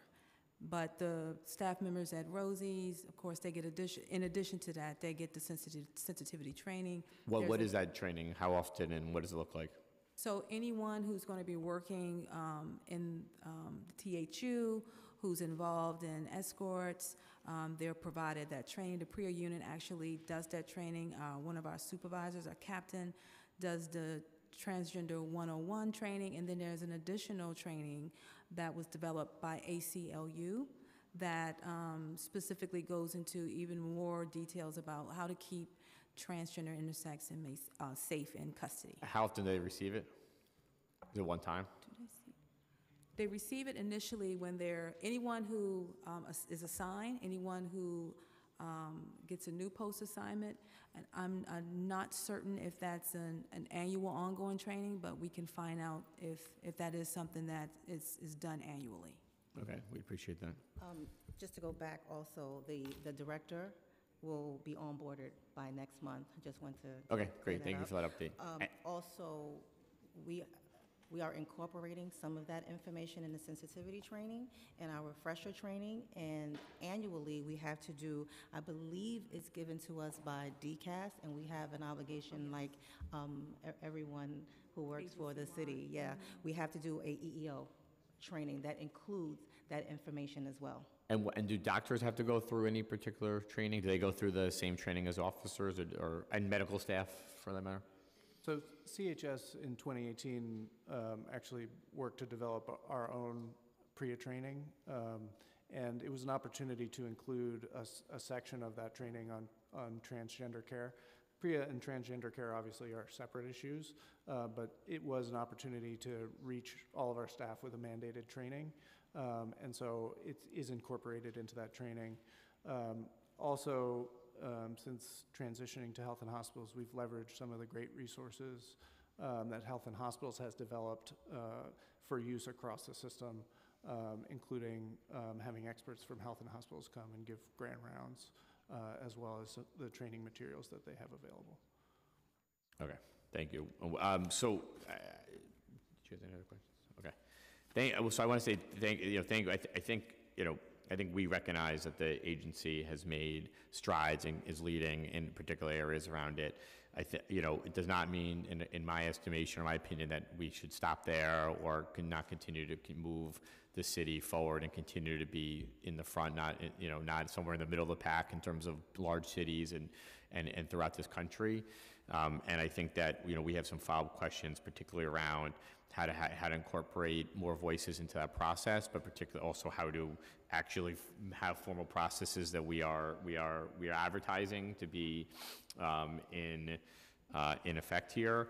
Um, I- You know, it's, it's obviously important as well. We're, we're, we're going to hear momentarily from, I think, some of the advocates and those who are working on issues around um, the criminal justice system. Um, But I, you know, I want to, I, I, I want to thank you for the work you, you're doing and, and, and where we are today. Um, I think that the legislation is trying to address, that we have before us is trying to address things that we see as, you know, continued efforts to stay um, as leaders in, in here and also to formalize things that seem to be informal around like an appeals process or around getting more information around um, housing and other services that are being provided and to en- ensure that in, for Di- Councilor Ayala's bills, that everybody is receiving the same and adequate um, and appropriate services. So we will um, follow up with uh, uh, both agencies or, uh, or, or agency and contractor um, uh, or agency, I don't know, but uh, around um, around the um, around some of the issues that we have as a follow-up. Um, But also would, have- as always, to encourage folks from CHS and DOC to stick around and hear from the folks that will be testifying after you, because you will hear, I'm sure, other ideas and and opinions as well. So, well, thank you. Thanks. We'll take a quick second and we'll invite others up here now. Um, We are going to hear our next panel um, from Mick Mick Kincaid from the Sylvia Rivera Law Project, Deborah Lolai from the Bronx Defenders, Kelsey Di- De Avila from the Brooklyn Defender Services, and Kayla Simpson from the Legal Aid Society.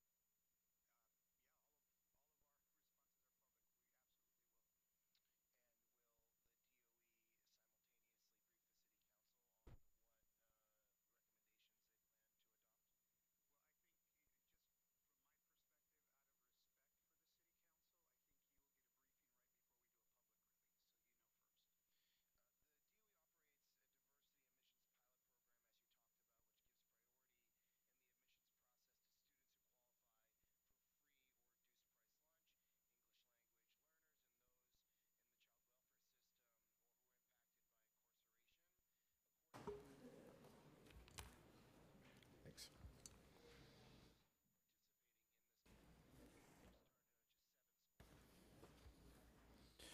All right, thank you. We're going to continue now with our next panel. Uh, The, we don't have to swear you in, but um, we we are going to have, just because we have a long list of groups, we're going to have some, uh, some clock limitations here, uh, and we'll have an opportunity to ask questions and follow-up questions after as well. Um, So we'll go from my right this way. Uh, and uh, if you can just, before you testify, just state your name and you're the group that you're affiliated with, and then you can start your testimony, and they'll have you on the clock, but we'll have an opportunity to ask questions as well. Is this- oh, there we go. Um, uh, My name is Mick Kincaid. I am the Director of the Prisoner Justice Project at the Sylvia Rivera Law Project. Um, I want to thank you for having this and also for moving it from the 30th so that more of us could attend. I didn't submit prepared comments today, um, and in part that's because I wasn't sure what the Department of Corrections was going to say, and so I wanted to have more freedom to just respond. Um, And in that, I wanted to say that I, um, th- last month at the Board of Corrections PREA hearing, there was a lot of confusion around the difference between uh, transgender identity and sexuality, um, and around the Prison Rape Elimination Act itself as a whole, and then the specific treatments of trans, gender nonconforming, and intersex people. Uh, there seems to be a lot of conflation between transgender people, gender nonconforming people, and intersex people, and in part this is because of the lack of definitions in the law. Um, there are definitions in various different laws, but from between the city to the federal, it changes significantly, and it's very unclear who these laws apply to. Um, so, for instance, uh, at the Board of Corrections hearing, the uh, DOC continued to talk about the transgender and intersex housing. Um, however, I, there's nothing on paper that says that intersex individuals, unless they also identify as transgender, are allowed into the housing unit. Um, and in addition, the current directive, which is a private and not allowed to be shared with uh, individuals in the community or advocates, uh, has no placement for transgender men. And transgender men in general um, don't seem to be considered in a lot of this. Uh, the three men who were at Rose during the Board of Corrections testimony were counted as women. Um, and there seems to be an ongoing concern that the Department of Corrections doesn't actually know the difference between transgender men and transgender women. Um, in addition, when the department was telling you about the eight transgender women in general population, I want to be clear that those women are in another unit altogether. So they're in a unit that allows for transgender women and cisgender women 50 and older. So I think there's a lot of clarity issues. Um, and in addition, I just want to point out that uh, the three men at RMSC, I don't believe at any point in time today the department said where they were housed, just that they were at Rose. They're all in protective custody or isolated confinement of some kind. So I, there's a lot of general statements that I think we need to ask more specifics about because they don't go into these when they talk about them. So for instance, the four-hour PREA training, there's no specifics what they said about like what part of that is about transgender people in particular. I sat through a version of it two years ago, and there was no particular part of it that was about transgender identity or LGB identity at all. Can I just ask a follow-up question? Um, and thank you for that. And thank you for your flexible flexibility in terms of uh, uh, the testimony. Um, you talked about inconsistency of definitions uh, between federal, city, probably I don't know, I don't know if state uh, factors into that as well. Is there a definition? Do you do you? Is there in the conflict between the city and the state? Do you see a definitional preference in terms of uh, the, the law and, and, and which one is you feel like more adequate? I don't think that either has a fantastic version. Um, I think it just needs to be more clear throughout. So, for instance, under the Prison Rape Elimination Act, there are definitions of intersex and transgender, um, and then there are specific things that apply to transgender people and intersex people, but then gender nonconforming people aren't included in there. But then the city has used the term gender nonconforming and some of the specific minimum standards, but they're not reflected in the directive then. So there seems to be an inconsistent use, and we need to figure out if we want the transgender housing unit and if we want transgender based placement to be inclusive of all people who um, identify as a sex or a gender other than that which they were born with, um, or if we only want it to be people who transition on a binary. Mm. And, and I think that needs to be a decision that's made and then clearly shared with people because there's no, there's no clarity. That's good. That's a great point. Um, and, and on training, have you ever sat through any of the PREA trainings? Yeah, so I sat through one um, in 2016, I believe. Um, and then I'm supposed to have one, an, another one because I'm a volunteer. I go to RMSC every week. I'm supposed to have had a training, but I haven't. You're required to. You're required to go on. Yeah. Did you Did you feel like they were adequate? No, I think that the entire training was about how um, people in incarceration are tricky and will try to have sex with you. Um, I have no follow-up questions. Good morning, um, or afternoon, I'm not sure. Good morning. Um, my name is Deborah Lolai. I am a criminal defense attorney and the LGBTQ client specialist at the Bronx Defenders. Um, as part of my role at the Bronx Defenders, I represent hundreds of transgender people in criminal cases every year, many of whom are or were incarcerated pre-trial.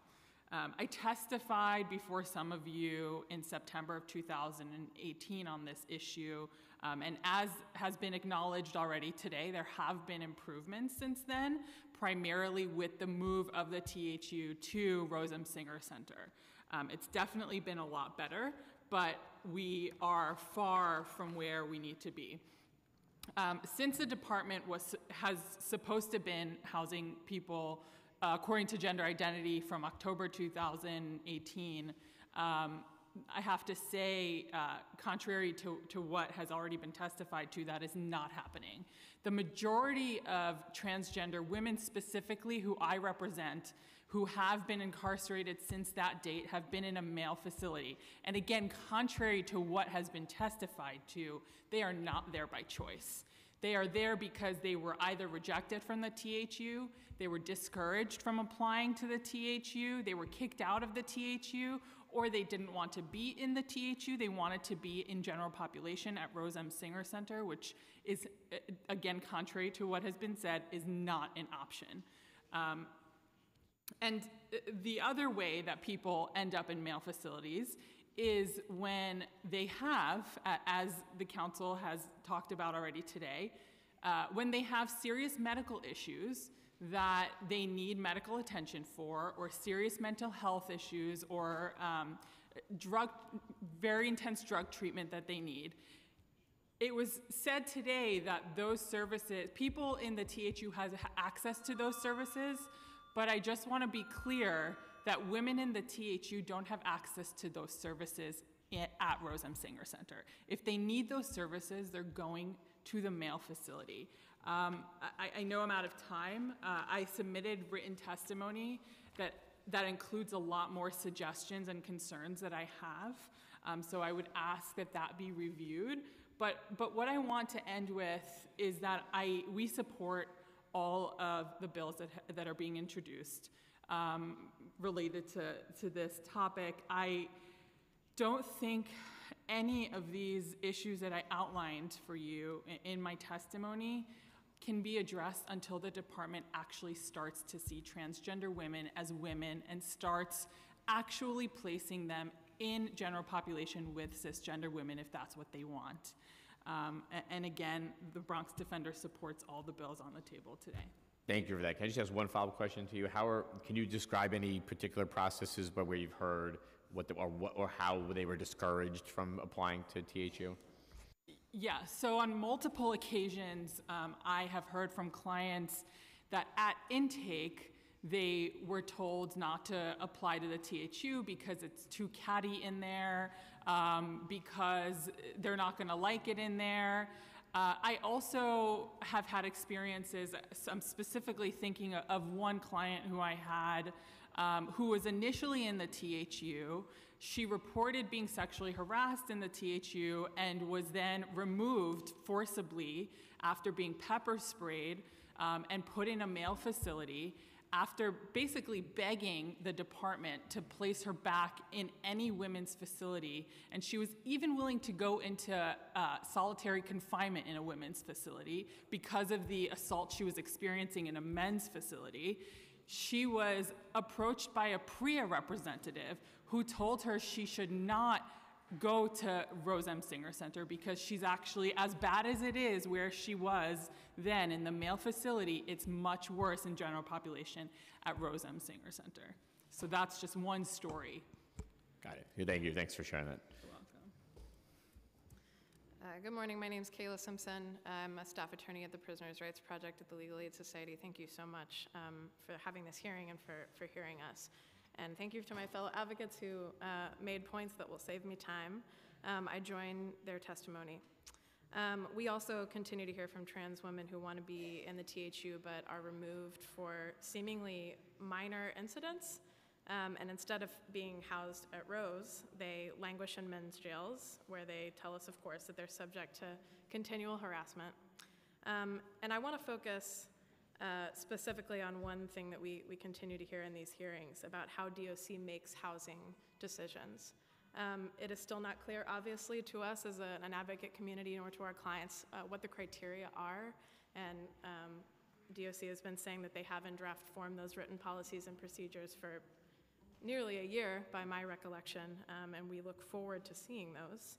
Um, but the primary reason that DOC gives, at least to us, and I think to, to other members of our community, for denying our clients gender consistent housing is a claim of dangerousness. Um, but we're very concerned about how DOC assesses that factor. Um, we don't know if they take into consideration how recent that behavior was, the fact that trans people are often forced into conflict because of a dangerous environment and defend themselves. Is that assessed against them for gender consistent housing? Um, we certainly support the PREA standards, um, but we're concerned that PREA is often used as a sword to deny gender consistent housing. And a security, uh, a security expert recently told us there's no reason that a person cannot be housed consistent with, gender identity unless they pose a risk to the safety of persons of the same gender identity, so gender based violence. And the point is, I think, when cisgender women have behavioral issues, when they act violently, when they show abusive behavior, it certainly happens, the department doesn't move them to men's facilities. Mm-hmm. Just because someone has a behavioral issue doesn't mean the department shouldn't still house them consistent with their gender identity. Um, And that concern drives some of our written comments that we made. And I just want to say really quickly that we support very strongly the two resolutions before the committee. Legal aid staff were actually in Albany yesterday encouraging the passage of HALT um, and, and MAT, uh, uh, intro fi- uh, 1514 MAT, we believe is the standard of care for opiate addiction, should be available to everybody and every facility, regardless of gender identity. Thank you for the council's leadership. Just a follow-up question for you. Yes. Are the, are the pieces of legislation that we're considering today, in your experience at the BOC hearing or in prior practice, are those things that the, the DOC has stated are currently occurring, meaning it's codifying existing practice? The, the, fi- the, all five The bills, legisla- Um, yes, I think, I think they would say that they are, that they're currently in practice. I think that is out of line with the reality of what we're hearing from people. Got it. Great. Thank Thank you. you for the testimony. Hello, good morning. My name is Kelsey De Avila. I'm the project director of jail services at Brooklyn Defender Services. And um, I'm basically going to say everything that's already been said, but I'll try to say it in a different way. um, so first off, I mean, I, I would like to thank you all for um, moving the, uh, the hearing to today, because we were also in, in Albany um, advocating for HALT. Um, in addition, just wanted to say thank you for asking um, some pretty direct questions to the department that, I mean, I think to all of us were pretty simple to answer, but, you know, we found out that what we kind of already knew, that uh, there was, there's a lot of confusion. Um, there's, you know, there's really no process. I'm not really sure what rules they are following, if any. Um, you know, their directive is the one that I've seen, 2014 directive, and we assume that's what they're following, but it's pretty clear that they're not. And you know, I think that's really worrisome, and it's harmful to our clients and the people in our jails. Um, you know, I, there's so many times where people will they've asked for THU, they've applied to THU, and they're being denied for arbitrary reasons. Um, one example is we had a woman who um, was in the THU and she was sentenced um, to a city year. And the next day, when she got back from court, uh, DOC removed her from THU and put her in a male facility. Um, I reached out to the only person I know is um, our Assistant Commissioner Faye Yelardy, and the response was that because she's sentenced, she wasn't allowed to be in THU. Well, in the directive, it doesn't say anything about being sentenced, and in addition, there are a number of sentenced women who are in THU. So, how are these decisions being made? And yeah, I mean, what's the criteria? And so I think you know, depending on they talk about case by case basis, but like it's there's no following order. Like it's it's a lot of confusion, and it's difficult for us to advocate for our clients. Um, you know, in addition, um, I think it was already been said about behavior being used against a person. Um, we had a, a, a fairly a young woman um, in early 20s who uh, she applied for for THU, uh, waited over a month for a response, and when we reached out to uh, the department, they said it was her behavior. Well, when she applied, she was like, you know, within the 24 hours, and the behavior they were talking about was how she was trying to defend herself from the assault, the physical assault, and the sexual assault that she endured during that month period of waiting. And they used it against her to not apply, for not be able to uh, in the THU. Um, I mean, there's a lot more I have to say. Uh, please read our written testimony. Um, I just want to make one more point: is that you know we need to ensure that the department's leadership is not compromised by any personal biases relating to uh, transgender and gender nonconforming people. Uh, we need to be mindful of how the department creates and enacts policies meant to protect and safely house. Um, um, so, thank you for your time. Great, thank you. I think Councilmember Holden, did you have a question? Yes, um, the Department of Corrections testimony that they act on these applications for housing immediately, 24 hours. You, you, none of you have seen that. So I, just quickly, so I go to the THU to teach a class uh, twice a month, and I go to the THUI the other two weeks. So I'm at RMSC in one of the THUs every single week. None of the women who are currently in either of them were processed within 24 hours. Uh, I routinely ask every time a new person comes in, how did you get here? And their answers are either, I don't know, I was in a men's jail, I was complaining, and then all of a sudden I got moved here, but it happened like between three to six weeks. And it wasn't, they don't believe it was their complaints, they believe either their attorney or the judge intervened. Um, or there are women who um, have come back from parole and have been placed there within the 24 hours because they were there previously, and when they defaulted on parole, were placed back in there. But none of the women who are newly sentenced were placed within 24 hours. I, um, it's, it's very rare that I have a client who is placed in the THU that wants to be in the THU within 24 hours. I actually don't know if it's ever happened. Um, but what I will say is that it seems to me from patterns that I've been seeing that the department very largely determines their decision based on how femininely a woman presents. And that's extremely problematic. And in fact, it's the basis for many of my clients' rejections. And what the department will, um, they have literally said this to me we believe your client's pretending to be transgender. Um, and let me be clear none of my clients have been pretending to be transgender, they are all transgender.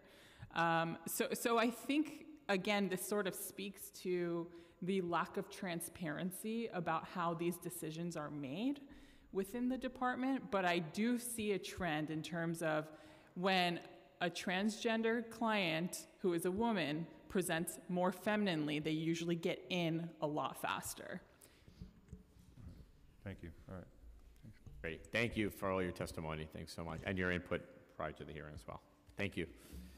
Our next panel, we're going to have, a- actually do a five-person panel. Uh, It's Mariah Lopez, Nancy Sicardo, Curtis Bell, Donna Hylton, and I can't read this name, but it's Vincent, oh, oh, Schiraldi from uh, Columbia University.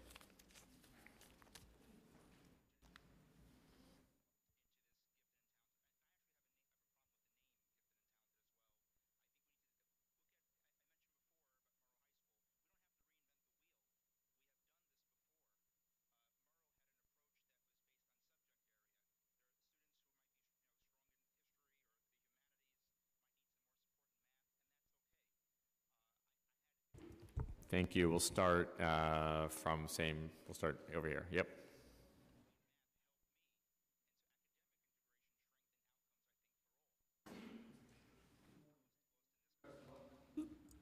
Good morning, thank you. I'm testifying on the um, resolution on the Less is More Act. I'm the co-director of the Columbia University Justice Lab, former commissioner of New York City probation.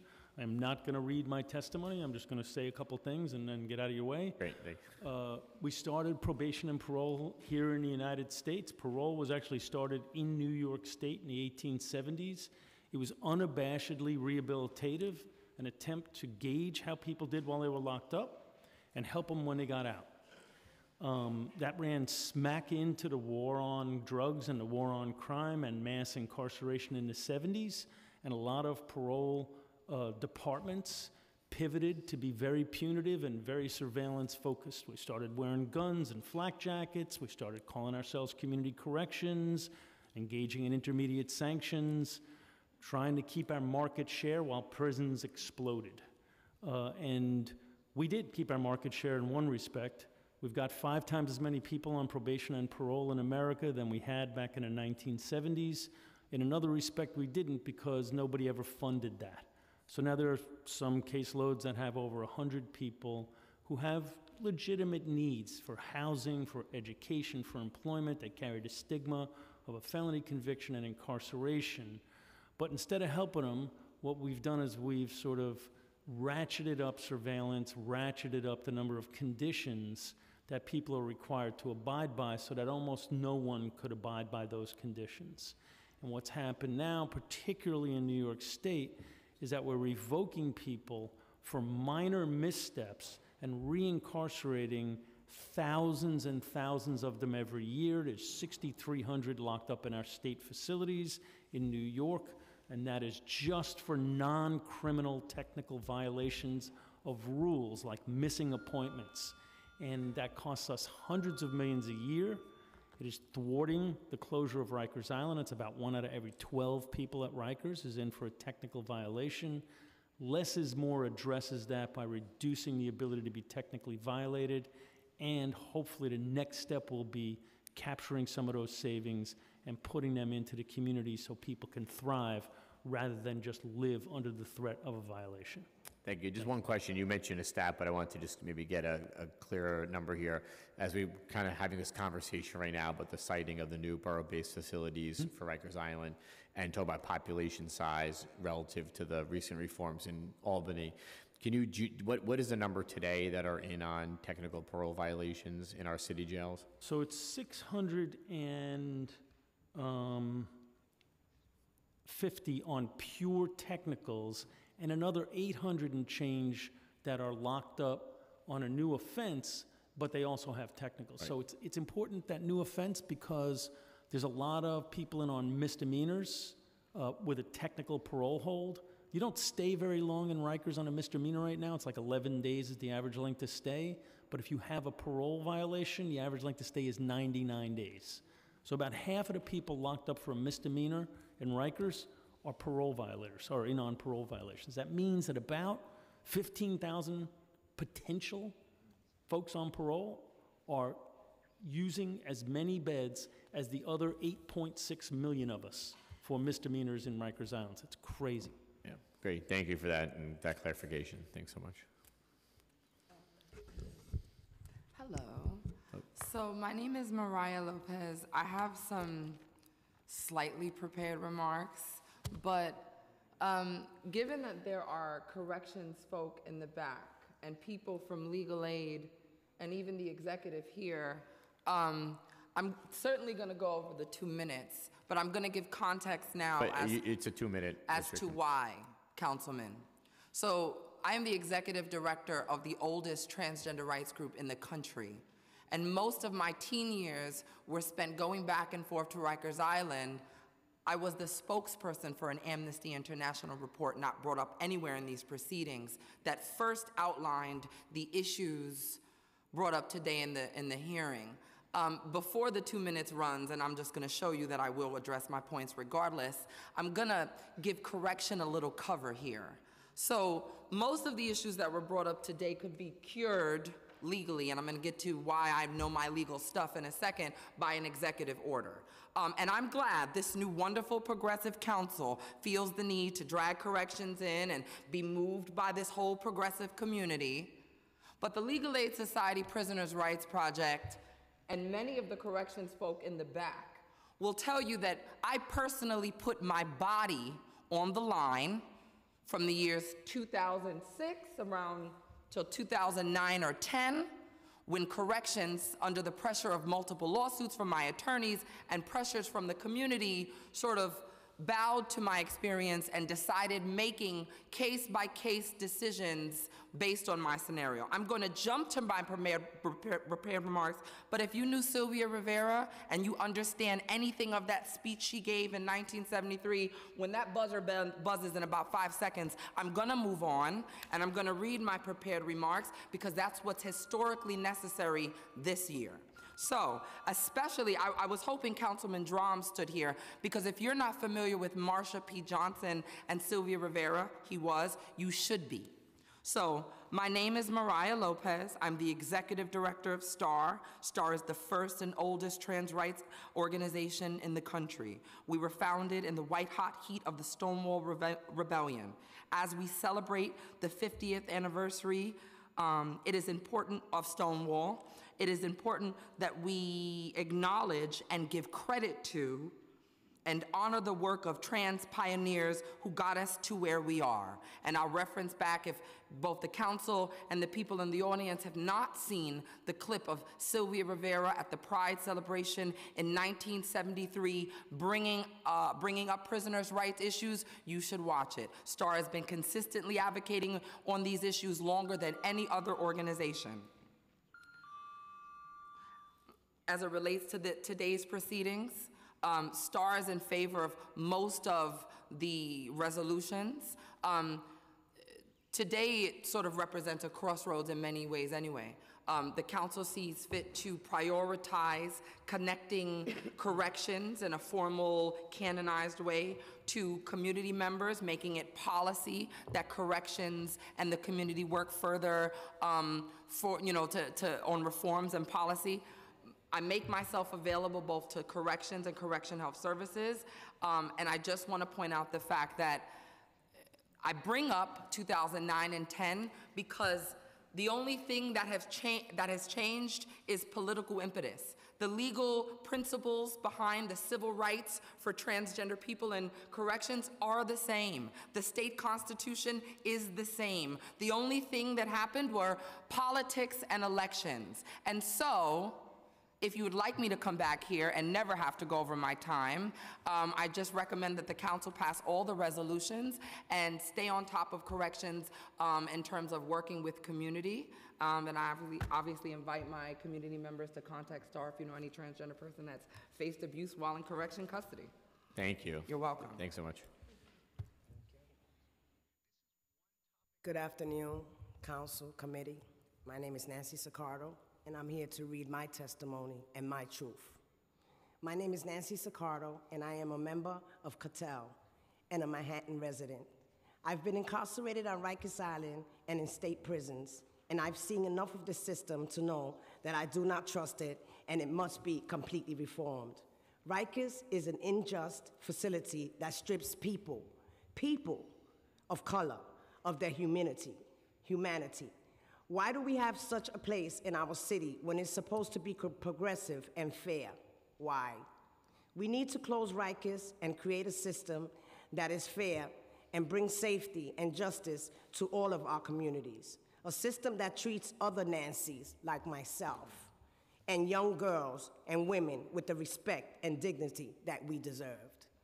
And just to follow up on that a little, I just want to, even though it's not on paper, I was personally impacted by this technical violation a couple of years ago. I was violated and sent to prison not knowing what I was violated for, just that it was just dirty urine. I didn't find out till 90 days later that I was violated for eating poppy seeds. Poppy seeds. Less is more is the way to go, and we need to pass this bill today. So I would appreciate that. Thank you. Great. Thank you for your testimony. Thanks. Curtis Bell, Katal.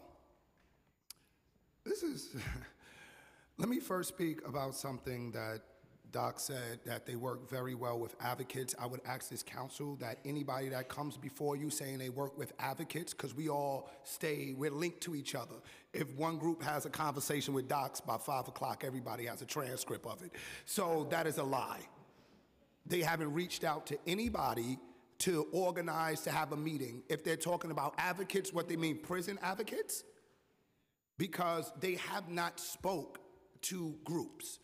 And they don't want us included in the legislative process and even revealing your training videos you use to teach your officers, reveal them to us so the community can weigh in what's effective or not.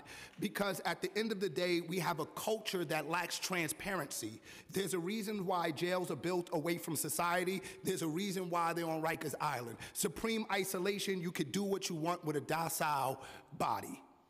And I'm not going to play games with this. At the age of 17, I was one of those youths that happened to go to Rikers Island.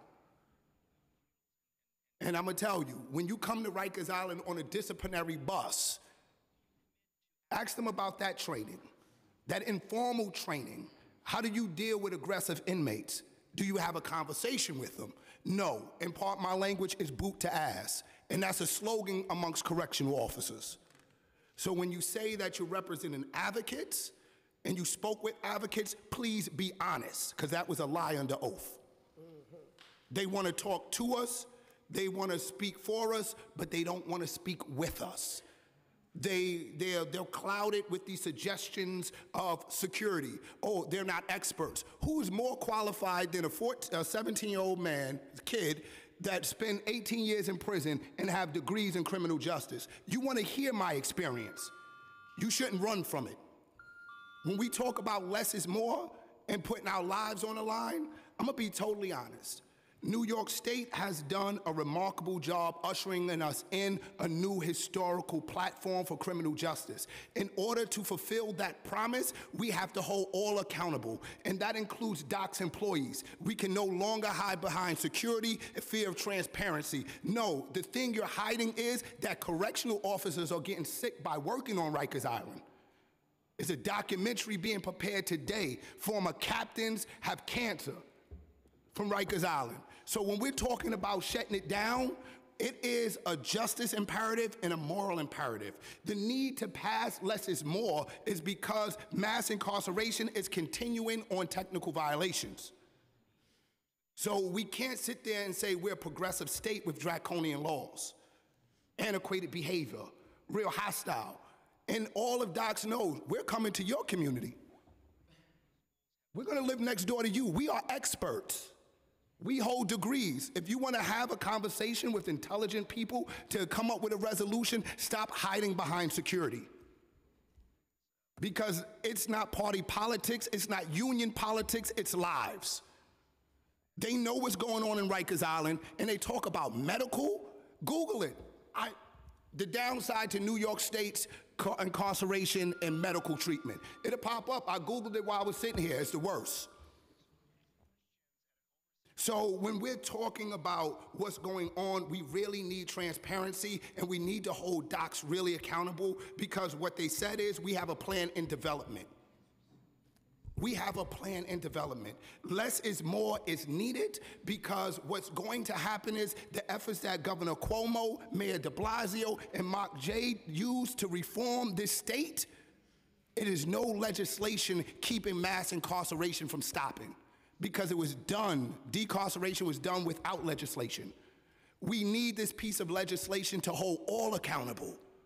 If we want to build a fair, just, and healthy society, let's start by passing this law and taking lives very seriously. All right, Day, I got to edge you there. Thank you for that. Good morning. Thank you, Councilman uh, Peter, I mean Powers, sorry, for introducing Resolution 829. Yeah, you know, it's been a That's all long right. morning, right? That's We right. heard so much stuff. So um, I want to talk about less is more, e- even more strongly. I personally, uh, from my own experience, and from the countless stories and, and, and, and, and my relationships with formerly incarcerated people, know that parole violations have become the new form of incarceration. And just as um, Mr. Shirali said, the numbers, right? The numbers that we know right now, 605, uh, they're increasing. I know some women personally who have been violated or threatened, uh, awaiting adjudication, or whatever you may call it, right now for very simple, minor things that a normal, regular John and Jane Doe would not see as a problem. And right now, we have approximately 35,000 people on parole in New York State, and that at any time, that 35,000 could be sent back to prison, right? And so we're filling the beds again with, with bodies. And so we are concerned, strongly concerned. We've, we've been out there in the community, we've been speaking all over the state and having community members. You see here, heard our leaders just now speaking about less is more, that um, our certain communities within the city are targeted. There are certain people from, you know, let's say the Bronx, which is one of the highest rates, right? We call those million dollar blocks who are being reincarcerated um, for simplest things. And sadly, I hate to say this, but sometimes it's just walking while black. And so um, we have to really consider, you know, what we as a people, like you stated earlier, what we're going to do as a whole to really progressively make some changes within our system. And we need to pass less is more now. And I just have to say this because it has to do with um, solitary confinement and that as well. I spent two and a half years collectively in solitary confinement, six months of those on Rikers Island when I was a kid. And I want to tell you that first they called it uh, protective custody.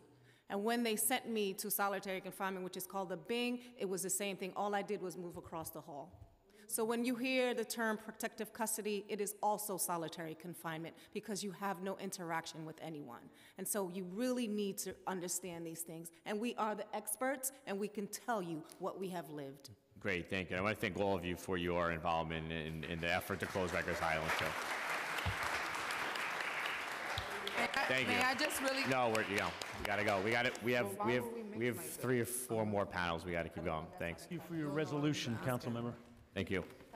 And hold them accountable about. We're gonna, next up, we're gonna have Cecilia Gentili, Jen Doman, Doman, uh, Christina Herrera, Michael Verdal, Verdell, and Betsy Linzer.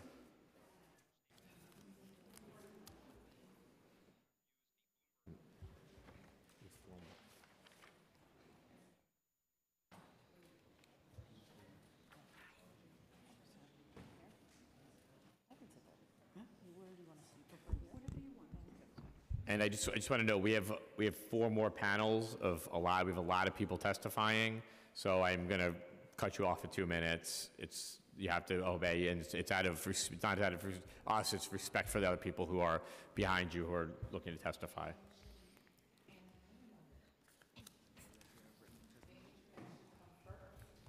Okay, we'll, uh, we'll start uh, over here on the right. Uh, Thanks. um, Good afternoon, um, Chair Powers and council members, and um, I'm just going to cut the whole um, thank you for doing this, uh, and I'm going to go with my testimony. Um, My name is Cecilia Gentili. Uh, I am a transgender woman who was briefly detained in Rikers Island, where I was housed with male population.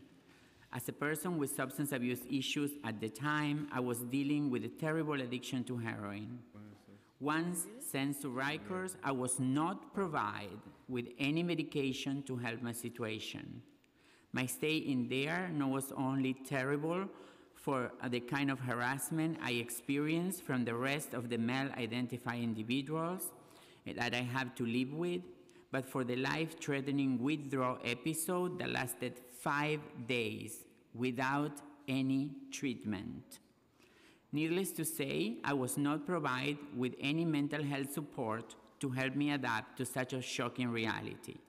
I believe making these changes in terms of treatment available for TG and CMB individuals, as well as revising the housing regulations and creating a task force to address policies related to treatment of transgender, gender nonconforming, and non-binary individuals in the Department of Corrections would make our stances in there more bearable and create an idea of recovery and mental health maintenance to keep after the release. After a short time in Rikers, I was handled, handed, handed to ICE. Um, although they said that, you know, uh, uh, Rikers would not, you know, send ICE for you, they did. They picked me up, uh, who put me in deportation procedures. While waiting, I was put in isolation. I do know how hard it is to live in this situation, and I urge the New York State legislator to pass the governor to sign the Humane Alternatives to Long-Term Solitary Confinement Act and condemn the Criminal Justice Committee and, and, and, and applaud the Criminal Justice Committee for asking this measurement to be taken. Great, Thank you. Thank you, thanks for testimony. We'll go next. Hello, my name is Jen Doman, and I am the supervisor for the Forensic Social Work Unit at New York County Defender Services. Thank you for listening to me today. In my six years there, as it relates to our transgender clients, I have noticed two outstanding issues. Don't know if I'll get to the second one. The first is the client's legal right to receive the necessary hormone therapy treatment that they need. The initial concern was whether or not they were receiving their hormones at all. It was a battle to make that happen for our clients. Six years later, DOC has made dramatic improvements in terms of getting clients their hormone treatment. The issue now is the timing of receiving the hormones. Imagine hating your body that you were born with, and then prior to incarceration, you were able to take agency over your own body by beginning the process of transitioning. You then become involved with the criminal justice system, and it is a slow drip process waiting to resume your therapy modality. If a client is waiting at DOC for close to a month to receive their hormones, facial hair is returning, breast tissue is decreasing, psychological hell is happening. The client is already in hell by being incarcerated. We are simply asking that the hell not be compounded. Whether employees at DOC religiously or culturally agree with one's desire to transition from one sex to another is irrelevant. The speed with which incarcerated transgender people receive their hormone therapies is relevant and dramatically needs to improve. Thank you. Thank you, and I just want to know, we, we didn't have a chance to get into those, that, that issue as much as I'd, I'd like, but we have something that the council is concerned about in terms of the hormone therapy, timing, dosage, and making sure that people are getting what they're Thank you. needing. Thanks, Thank you. Thank you. Thank you. Uh, Good morning, Chair Powers and City Council members and staff of the Committee on Criminal Justice. My name is Cristina Herrera, and I am the CEO and founder of Translatinx Network. I'm here to talk about a series of introductions and resolutions around the treatment of transgender, gender nonconforming, and non-binary individuals in New York City jails. I want to take this opportunity to thank you all for your advocacy for the TGNC and B community around these very sensitive issues. As part of the Trans Equity Coalition and the Solutions Co- Coal- Coalition, look to um, we look to improve the lives of our New York City residents, especially the community um, that encounters the jail system. I want to speak about the experience of TGNC and B individuals at Translatinx Network and other community members. Significant work with these individuals and their experience going through that jail system, and how important it is for these local pieces of legislation and resolution calling the New York State Legislature to pass and the government to sign the Humane Alternatives to Long-Term Solidarity Confinement Act is so important for the trans community. Our community needs mental health and substance abuse treatment in the jail system. As we have seen in, um, in research, our peers struggle with multiple health issues. As a transgender New Yorker and a community organizer who has been working with the TGNC and B community for the last 20 years, I have seen the many challenges that my community struggles with. One of the primary ones being mental health issues. There have been dozens of clients that I have worked with that have gone through the New York City jail system and have experienced being ignored when they ask for support around their mental health needs. In my work, I have observed members of the Trans Latinx network who have been sent to jails and have, have been housed with Yeah, peers. I need you, we need you to just sex- come to your final Yeah, conclusion here. the last two lines. Sure, good. Uh-huh. Thank you. And house with their peers, um, their, who are as, uh, uh, similar to be assigned uh, sex at birth instead of their gender identity, and sometimes being put in isolation confinement. This is dangerous, physically and mentally dangerous. Translatinx Network supports the legislature being introduced today. I thank you, um, Chair Powers, and the rest of the City Council um, uh, team and staff for your support in this. Mhm. Great, thank you. Go next.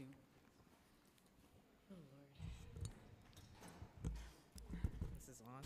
Hello? Oh, sorry. Hello, good afternoon, everyone. My name is Betsy Lindor, and I am a member of Katal, and we are here for the Less is More bill. And this is my statement. Trust me, I'm not gonna go over two minutes. it's very short. Um, basically, this is just my opinion, my my statement. Um, I feel like the Less is More bill is an excellent opportunity that the City Council, legislator, and the governor, sh- it should be passed. And the reason why the bill should be passed is for, you know, for people. Oh, wait, actually, I'm so sorry. It's be able to have compassion for people who are making chance, making changes in their lives for the better, and not have to deal with unnecessary technical violations, going back and forth from Rikers and all of that stuff. So when it comes to Rikers as a whole, it does need to be closed because, as we all know, it has a bad reputation. I'm not going into details as why, because at this point we all should know. And um, that's my statement. And I'm also going to be reading for Mr. Rabbi Michael, who is also part of Katal. And um, do you want to introduce yourself or no? Okay, Thank my you. name- Yes, my name is Michael Vidal, Rabbi- better known as Rabbi Michael. Um, I didn't bring my glasses, that's why she's reading it off for me, okay? All right. Uh, do you want to borrow these? Well, do you want, are you echoing her sentiment? Not a few it's like. Okay. Oh, Oh, All right. Hello again. okay, this is his words. To whom it may concern, I am addressing this letter to you in regards to why I am, as a person, feel that Rikers Island should be closed down. Number one, Rikers Island is overcrowded. A lot of people that's in Rikers Island has mental problems. Ooh, sorry. One form or another, maybe drugs or some form of drugs or alcohol or broken homes. Also, they do not have the proper counseling over there or mental health people over there to help them in their transition back out to the streets. Number two, there are lots of fights and things that go on there. A lot of people get hurt. They're just waiting to be transported back and forth to court. They have to get up at approximately 4 o'clock in the morning or maybe earlier just to get transported to court. If they do not get to court in time, the case is put off until another day. Also, also when families come over there to visit, it is very, very hard for a family member to be able to see their loved ones because they have to travel very, very far. If they have if they had a correctional facility or a jail in each borough, it would make it a little bit easier for them to get to court and have visits. And last but not least, there are four borough-based jails already existing in the boroughs that transport people back and forth to court. They can be expanded to include those on Rikers. Rikers is overcrowded. There are people waiting to go to court who cannot pay their bill because bail is too high. All right, thank you. We, we appreciate it. I want to note we've been joined by Councilmember Rosenthal as well. I, I have to just jump to the hearing next door, so Councilmember Rosenthal is going to chair for uh, the, the time, and this is our, our next. Great, um, great. Be Thank right back. Thank you, Chair Powers. Um, And thank you to this panel for your testimony. Oh, hi. It's really great. I'm, I, I have all your testimony, and I know the committee staff does, and everyone's reading everything very thoroughly. So thank you for that. I'm going to call up the next panel. Aikia Dunstan, Oh, you did very well. Mm-hmm. Alejo Rodriguez, Marcus Campbell, Marcel Sa- Sildor, Zachary Katznelson, and five Manon Lamech. I think I did.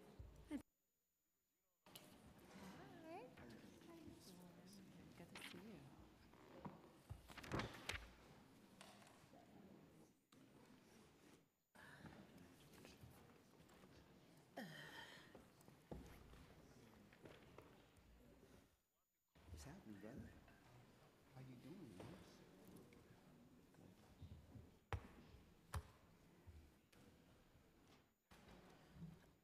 Um, I'm also going to call up Andrea Bowen. Does, looks like not everyone is still here. Thank you. Thank you so much for coming. Um, if we could start with my left. If you'd like to start, just introduce yourself and where you're from and, and speak to me from your heart. Okay, Better great. than testimony. okay, great. Hi, I'm Ekithia Dunson. I'm here. I'm a Katal Center member. Uh, I would like to tell you that I thoroughly support the Less is More Community Supervision Revocation Reform Act. I'm a former New York City police officer and a formerly incarcerated woman. I just was paroled on July 5th of 2018. You know, it could be very stressful just having a techn- technical violation as a lingering thought, even though I have been successful while on parole. A technical violation is noncompliance with conditions of community supervision and includes not reporting to a parole officer, missing curfew, or testing positive for drugs. These are not crimes in of themselves. We can utilize our resources in a more efficient, effective, and comprehensive way that will empower and build successful communities. In addition to aiding the effort to shutter Rikers Island due to the significant amount of people that would be released from county and state jails and prisons if this legislation is not passed, if this legislation is passed, excuse me. The Less is More Community Supervision Revocation Act would shorten parole and probation terms overall, Studies show that the most reoffenses occurred within the first year or two of supervision, cap the amount of time people can spend in jail for technical violations before they must be released, incentivize, good behavior by allowing people to earn accelerated discharge, such as mandating 30 days off probation or parole for every 30 days a person spends violation-free in the community, require a robust hearing with lawyers for the accused before a judicial officer before jailing someone accused of technical violations, create a high legal threshold for jailing people on parole for minor offenses, and ex- expedite their hearings. Reallocate savings from these reforms to community programs that support reentry efforts for formerly informally incarcerated people. There should be no more delays in passing this bill, which will help with the closure of Rikers Island. Experiencing the unsavory conditions and inhumane treatment on Rikers Island will leave a bad taste in anyone's mouth. So today, I call on you, New York City Council, to pass this resolution. I call on legislature and the governor to pass the Less is More Act, which would further decarcerate Rikers in jails and prisons across New York State and help people like myself to successfully reintegrate back into communities with their families. The city must take swift action to close Rikers because everyone deserves a quality of life, whether you're from Park Avenue or Park Bench. Thank you. Thank you for your eloquent testimony. Um, you. Listen, I will say though, every single bit of testimony is already going to be in the record. And if you want to just speak from your heart and, and, you know, within the time frame, we'll, we'll be able to hear that too, and that added piece will then be in the record. Thank you. Good afternoon. My name is Zachary Katznelson. I'm the Policy Director at the Independent Commission on New York City Criminal Justice and Incarceration Reform, commonly known as the Lippman Commission. Thank you for the opportunity to testify, and thank you for the introduction of the resolution in support of less is more. And I want to focus on what the current parole population at Rikers, what it means for the closure of the jails there.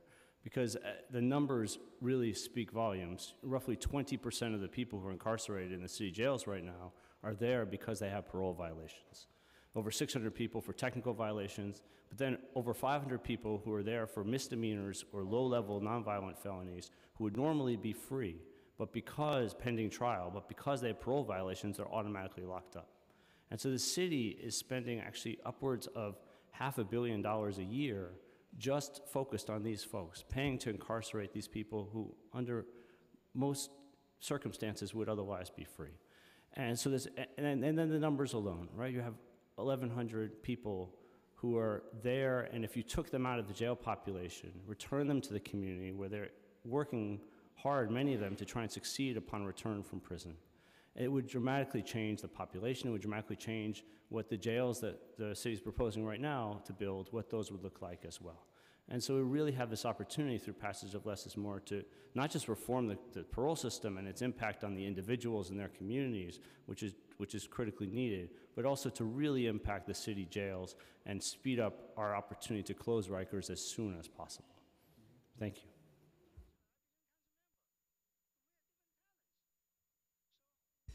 Hi, thank you for having me, um, and thank you for the two people who spoke before me. Um, it's going to make my sharing a lot easier to provide, you know, to speak on. Um, my name is Alejo Rodriguez. I served 32 years in state custody in Department of Corrections. Um, I also currently, though, I'm here today representing Exodus Transitional Community. It's a reentry organization in East Harlem and to share some of our observations of some of the issues that many of our clients are faced with with dealing, having to deal with technical parole violations.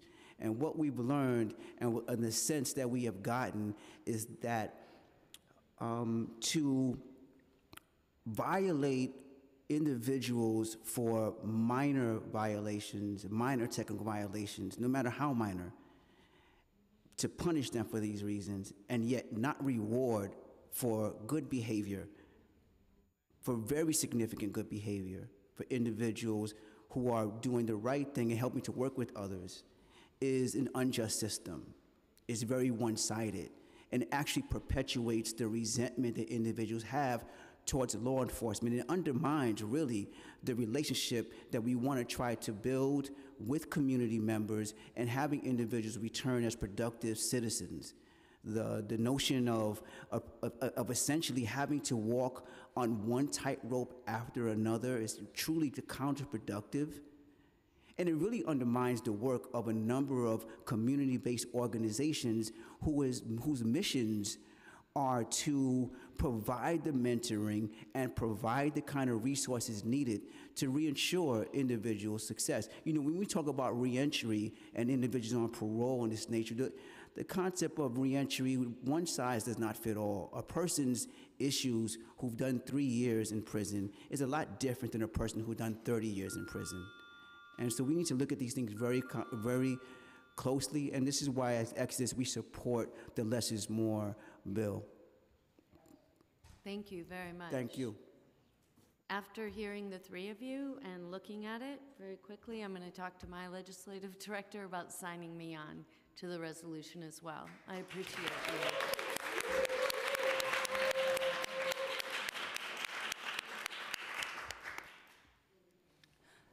Thank you, Councilmember Rosenthal uh, and committee staff and Chair Powers. Um, uh, I'm Andrea Bowen. Um, I'm speaking as a consultant on behalf of the New York City Anti-Violence Project. I also coordinate the TGNCMB Solutions Coalition, which works to make sure city agencies are really doing their work with the community. I am also, AVP is also a member of the Trans Equity Coalition, which tries to get funding for TGNCMB led and serving organizations.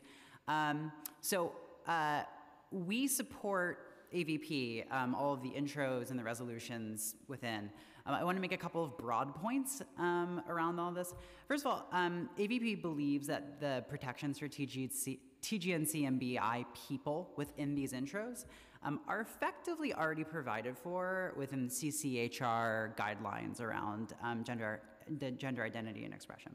So we think it's already part of the law. That being said, um, statutes are always more important and powerful than agency guidance.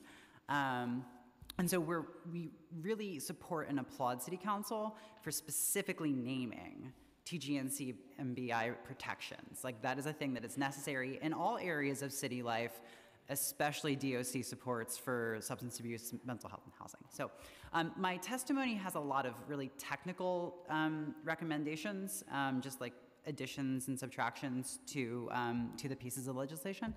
Um, I guess one other thing I wanted to note about the rezos, um, uh, we hope that they could be amended just to mention that TGNC and BI people, especially TGNC and BI people of color, are at risk of state violence, including incarceration. Um, that isn't really noted in there. Um, AVP is a general position, and as my colleague Nala Toussaint from Callen-Lorde says, does not advocate or support the overall expansion of the jail and prison industry. Um, and that is pretty much my time. So uh, the rest of my testimony says a lot more. So thank you for your time. No, Andrea, thank you. And, um, you know, I'm noting on here, uh, you were very specific in your written testimony, and that's incredibly helpful to the staff, to us. I'm reading through your comments on the bill that I'm proposing, and you're spot on right. And I like what you said. The importance of naming something is critical. And we're at a juncture where are we going to sweep things under the carpet or are we going to name them? Right. So I very much appreciate your comments. And um, you will absolutely see a different A version on my bill for sure. Yeah, thank you immensely. Yeah. And um, yeah, just just to note, um, you know, there there are a couple of notes that like we want to make sure that specifically local organizations that serve TG and CMBI people are included. We want to make Good. sure that folks that aren't just in trans housing um, are included. And so, um, and we also want um, one more, I guess, quick thing is making sure that like we get as much information on the granular level as possible. Um, and um, uh, Councilmember Moya's uh, intro, um, it talks about uh, providing aggregate information about trans housing. It, it occurs to me that if I were to do a FOIL request, um, I would probably get individual things just with indiv- identifying information blacked out. Um, so I would like to see as granular as information as possible on the advocacy side. Knowing what specific things people have faced will be really important. So that's just one other thing I wanted to get in. point, and there are always ways around it, you know, either by redacting or culling out the specific reasons without any identifying information I think it can be done. whatsoever. But I agree with you, the devil's in the details. Yeah. So I really appreciate you. Thank you all for testifying Thank you. today. I'm going to call up the next panel. Samuelin Kabasa. If I pronounce names wrong, my apologies in. You pronounced it good enough, Yeah? Yes. Jasmine Perez, Hannah Miller, Phil Miller, Scott Paltrowitz, and Daj- Dayan Tatro. And if I can just say for the record that on my bill in particular, which is intro 1535, I very much appreciate the testimony, um, yes, from the Anti-Violence Project, but also from um, the Legal Aid Society, the Bronx Defenders, and Brooklyn Defender Services, who have given us terrific specific suggestions to improve the bills, and we will be absolutely taking those suggestions into account. So I want to thank you for that. All right. Again, if we could start with you, just uh, your name, your organization, or if you're testifying on behalf of yourself, and from the heart, just a couple of minutes about why you're here. What, what powers you through today?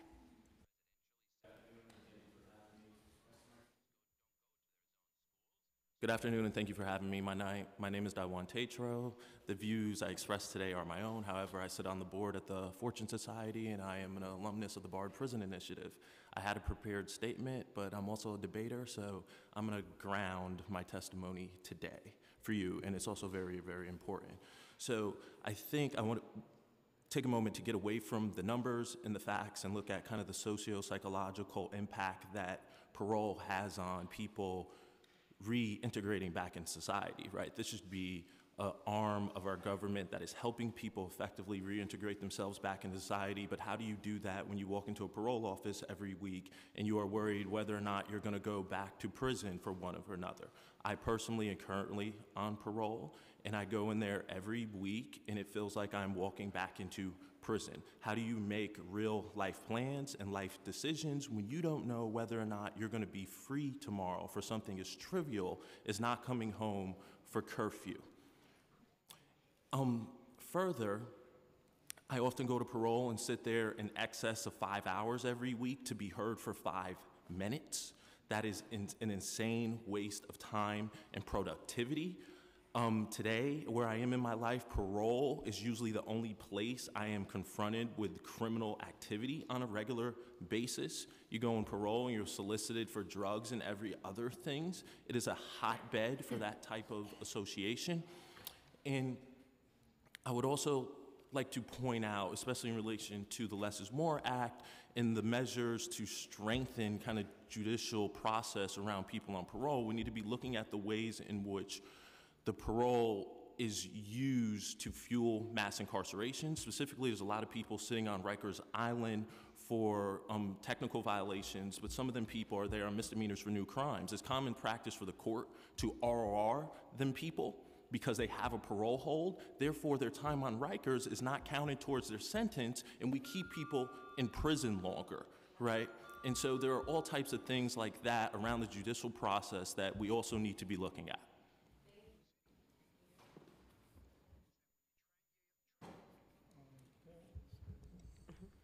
Hello. Um, Thank you for having me uh, before you. I'm representing New York CAIC um, on the Halt Solitary Act. Um, uh, My name is Samuel Kabasa.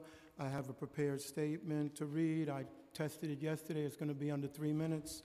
Um, And uh, members of CAIC uh, had other meetings to go to, and I would ask your permission if after I read my testimony, I can read this one page on behalf of one of the members. Okay, thank you. Um, Good morning, my name is Samuel Kabasa, and I am testifying today as a member of the New York CAIC Halt Solitary Campaign. Our campaign is a community of people who have survived solitary confinement, family members of people incarcerated, concerned community members, advocates, health and mental health professionals, and people in the human rights, health, faith, and social justice communities across New York State. I am testifying today to urge the City Council to adopt Resolution 143, which calls upon the New York State Legislature to pass and the governor to sign the HALT Solitary Confinement Act. Solitary confinement is torture. People in solitary in New York State are held up to 24 hours a day with no meaningful human contact or programming. I would know.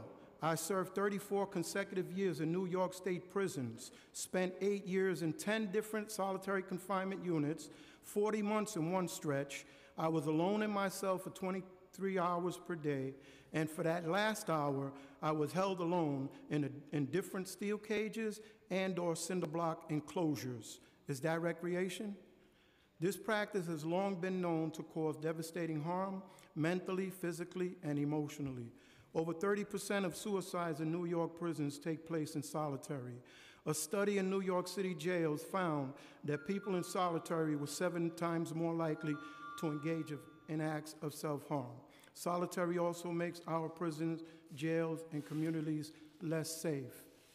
Despite all this, thousands of our fellow New Yorkers are in solitary confinement each day across our state and tens of thousands each year. Black and Latino people are disproportionately subjected to this inhumane practice.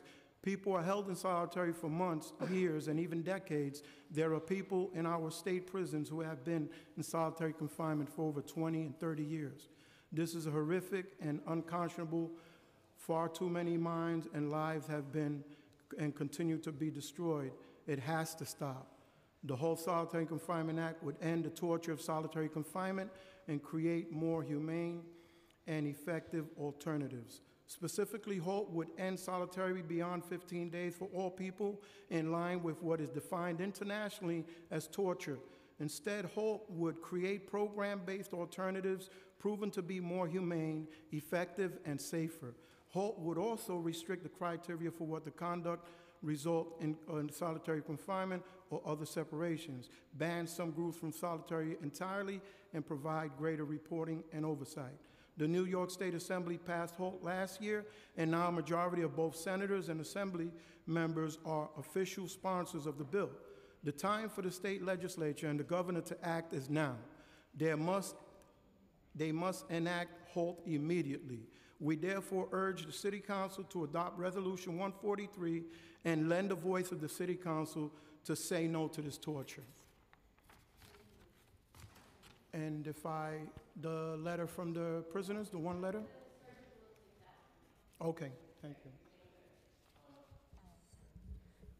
Hello, um, I'm Jasmine Perez. I'm a social worker. I'm from Destination Tomorrow.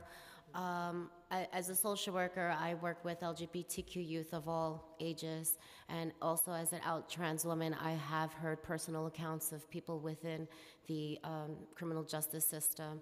Um, in, uh, before I go into the prepared statement, um, I do uh, want to.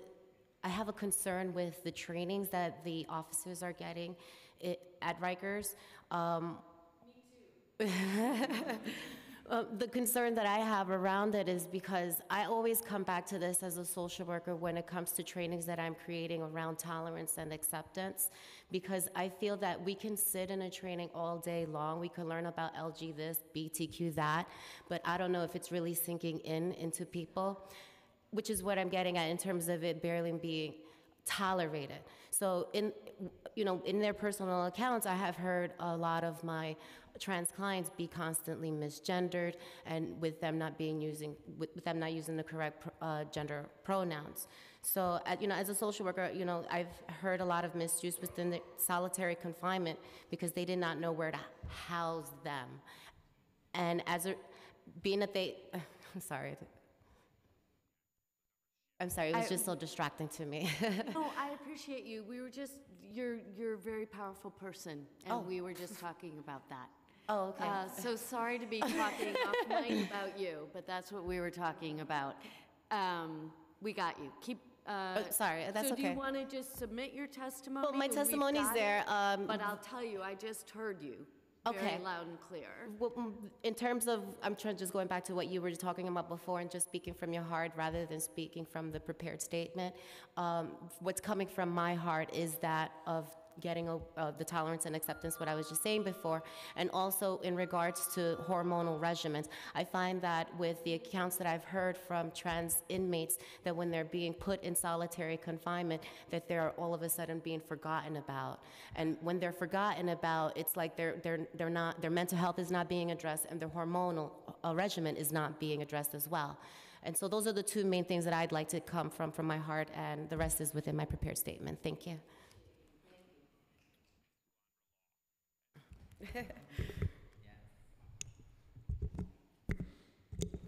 Hello. So my name is Phil Miller. I represent the Correctional Association of New York. Um, we're an independent nonprofit organization that was established in 1844, and we monitor all of New York State's prisons. Um, so you already have my testimony, my formal testimony, so I'm just going to speak a little, little differently and summarily. Um, I'll say as an organization, we support um, both the HALT and the Less is More Acts. Um, specifically for HALT, we support it because it puts some serious limits on the inhumane practice of isolated confinement. Um, and it's long overdue for something like this to happen. And uh, from a personal perspective, I'll say that I spent some years in solitary confinement, so I can tell you that just sitting in a cell locked away, the days of the week merge together. You lose the sense of time. It's easy to stop talking to people, and by the time you actually leave that place after many years, your muscles have atrophied so much it's difficult to even walk down a hallway. Um, so the HALT Build is, uh, is a really good step in the right direction. Um, in terms of Resolution 829, which concerns the Less is More Act, we support this because it really puts some serious limitations on technical parole violations and also reforms um, how much time parole violations uh, can lead to in terms of reincarceration. Um, technical parole violations, they're really minor things, but they completely disrupt uh, rehabilitation, reintegration. They disrupt family relations. Any progress someone has made can totally be destroyed in, in a second because of it. Um, any um, housing opportunities someone has disappear immediately. And so, from an organizational perspective, we support the Less is More Act because any law that can help more people remain free to establish connections with their families and move forward with their lives is something I think we should also support. Um, and then from a personal perspective, I'll say that sitting in a parole office um, with other people who are waiting to see the parole officers, you can feel the fear in that room because so many people are there happy. They just got a new job. They might have just had a new child, and they really don't know if they're going to be violated or not because two days ago, they didn't answer a phone call on time from their parole officer. And so it's, it's a constant state of anxiety where people are trying to move forward, but these little rules je- can jeopardize everything and really keep people trapped in a cycle that they can't escape from. And so these laws need to be passed. Thank you very much. And again, thank you for your powerful testimony today. Really appreciate you. I'm going to turn it back to the chair, Councilmember Powers. Thanks for that. And I know you're on a list somewhere uh, to go I ask am. questions too, so thank you for that. Um. Okay, thank you, guys. Thanks so much. I'm going to call up the next panel. We have uh, Charlie Solid- Solidum from the LGBT Network, uh, uh, Pace, someone from Pace Law School, Michael, I can't read your last name, I'm- I apologize for that. Uh, Juan- Juana Peralta from the Center, Nala Toussaint from the Callen-Lorde Community Center, and Juana Peralta from the LGBT Center. Probably too many copies, but. uh, Okay, great. Great, thank you. Yes. Oh, hey.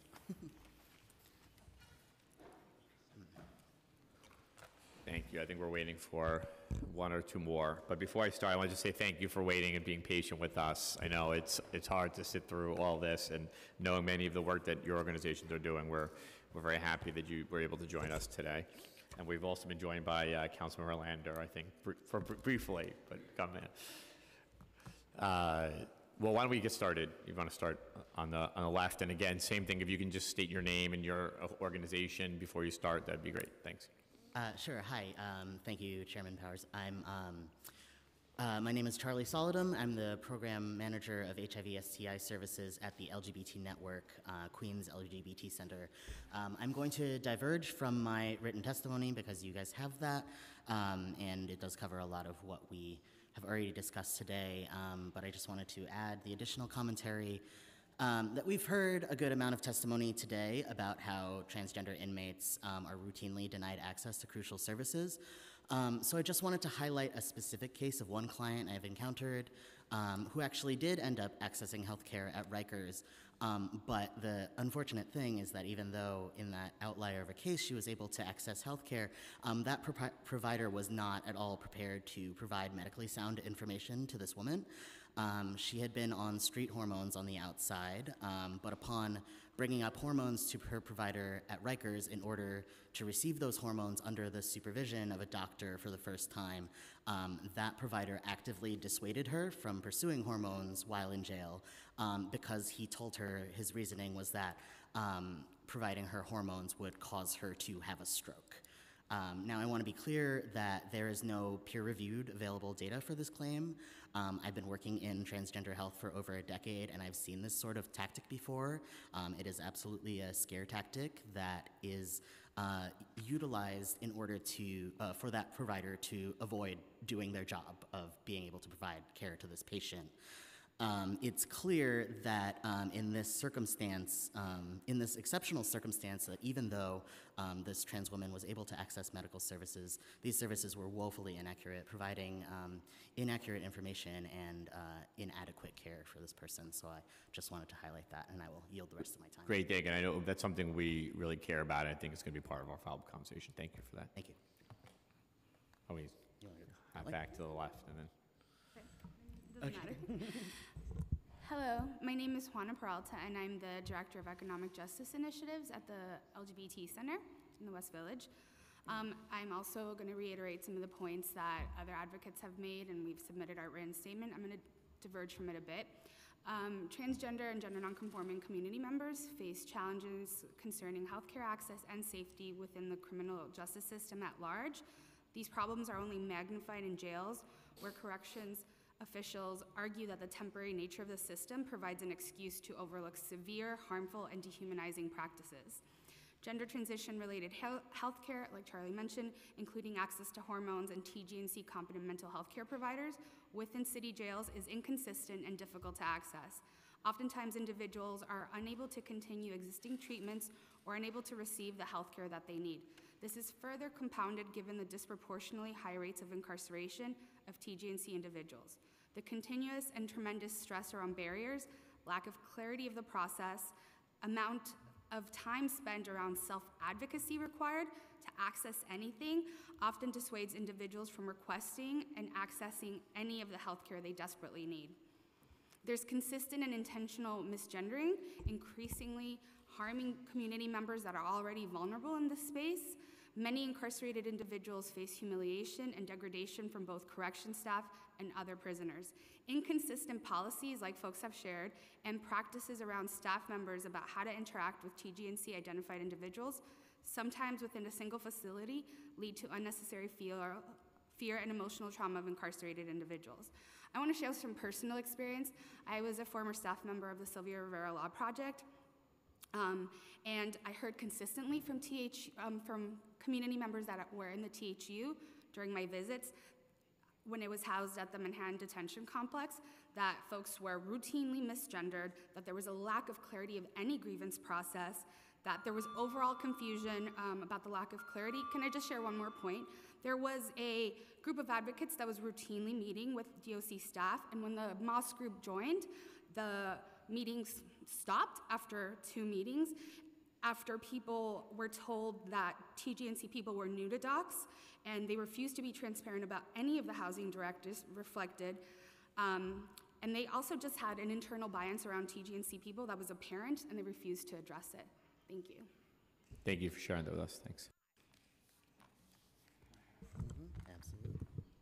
Good afternoon. Uh, my name is Michael Mushlin. And I want to thank you for holding this, this hearing and giving us the opportunity to testify. I'm a law professor at Pace University, and I have been involved for over 40 years in the effort uh, to reform solitary confinement. So I'm, I'm happy to be here in support of the resolution 143, which I think is a very important uh, document. There are five reasons that I'd like to, to offer for why the City Council will do a very important thing if it adopts this resolution. One is the solid, as you've heard, Uh, sol- and as you know, solitary confinement is torture.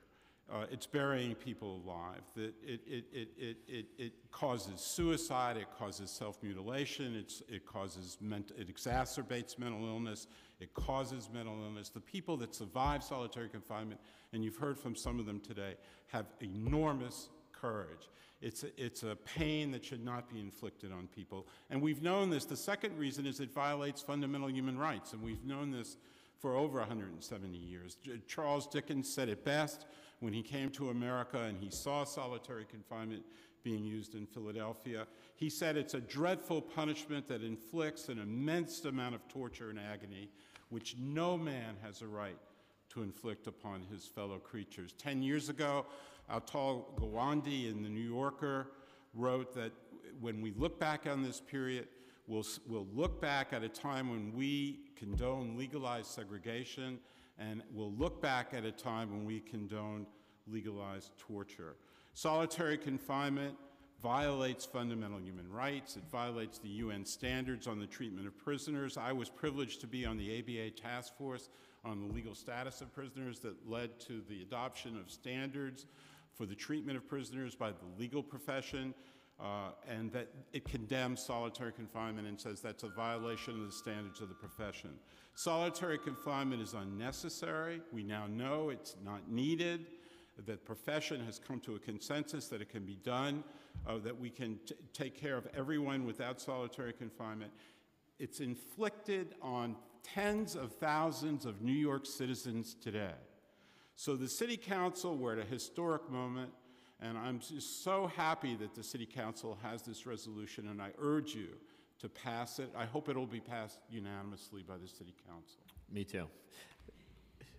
Hello, my name is Nala Simone Toussaint. I speak as a woman of trans experience in my role as a transgender health uh, advocacy coordinator at Callen-Lorde, as well as a part of the Trans Equity Coalition and the Solution Coalition. So my statements will focus on our support on Intro 1513, a bill requiring all department facilities housing transgender, gender nonconforming, non-binary, and intersex individuals to have access to comprehensive mental health treatment. So Callen-Lorde is a community health center that provides integrated primary and behavioral health care. We estimate more than 20% of our behavioral health patients have history with the criminal justice system. We can attest firsthand to the need for behavioral health and mental health service for TGNB individual in New York City's jail. And so if you see on uh, one of the testimony, there are about uh, five asks that we have received from our response and communication to uh, TGNB folks who are incarcerated. So we get over uh, 20 a year.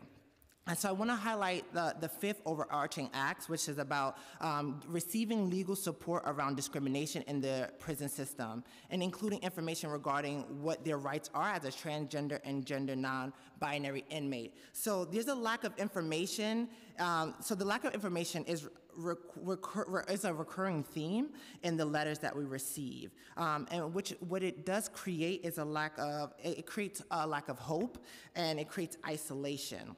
I, I want to highlight uh, two, about two stories. Um, one of our, our former patient named Brittany was formerly incarcerated and shared with our mental health provider that she was placed in solitary confinement while she served five years. She told the provider that this was the only option given and explained that it was meant to save her life from the inmates, but she ended up being ripped to pieces by the guards. She explained that she was able to deal with it most days because she was drugged by, by with psychiatric uh, medication. The, can I just say one more point, please? Um, of our youth, a transgender female, shared with me that uh, when she was sent to New York City jail, she had never she had never had sexual activity before. So imagine an adolescent, your niece, your nephew, who had never shared a romantic kiss or had sexual encounter with anybody, housed in a male's jail. Her sexual debut was being raped multiple times per week in order to survive in order to have the costly protection by one co dwelling inmate from other inmates. So there, there are some other uh, stories that I included in both of the testimonies. Uh, thank you so much again for uh, supporting these bills. Thank you. Thank you for everybody for your patience and your advocacy here as well. Um, and I want to thank all the groups who came before us and testified today. As as as always uh, on the legislation before us, it's uh, very extremely helpful to hear the comments and uh, and positions of the groups that are and and agencies that are working in this area. And we, uh, you know, after all these hearings, always fine. We have much more work to do in areas where we uh, didn't get enough time to focus on uh, at this committee hearing as well. So we look forward to our continued work all together. I want to thank again my staff for helping to put this together, and uh, and thanks everybody for for being here today. Thanks.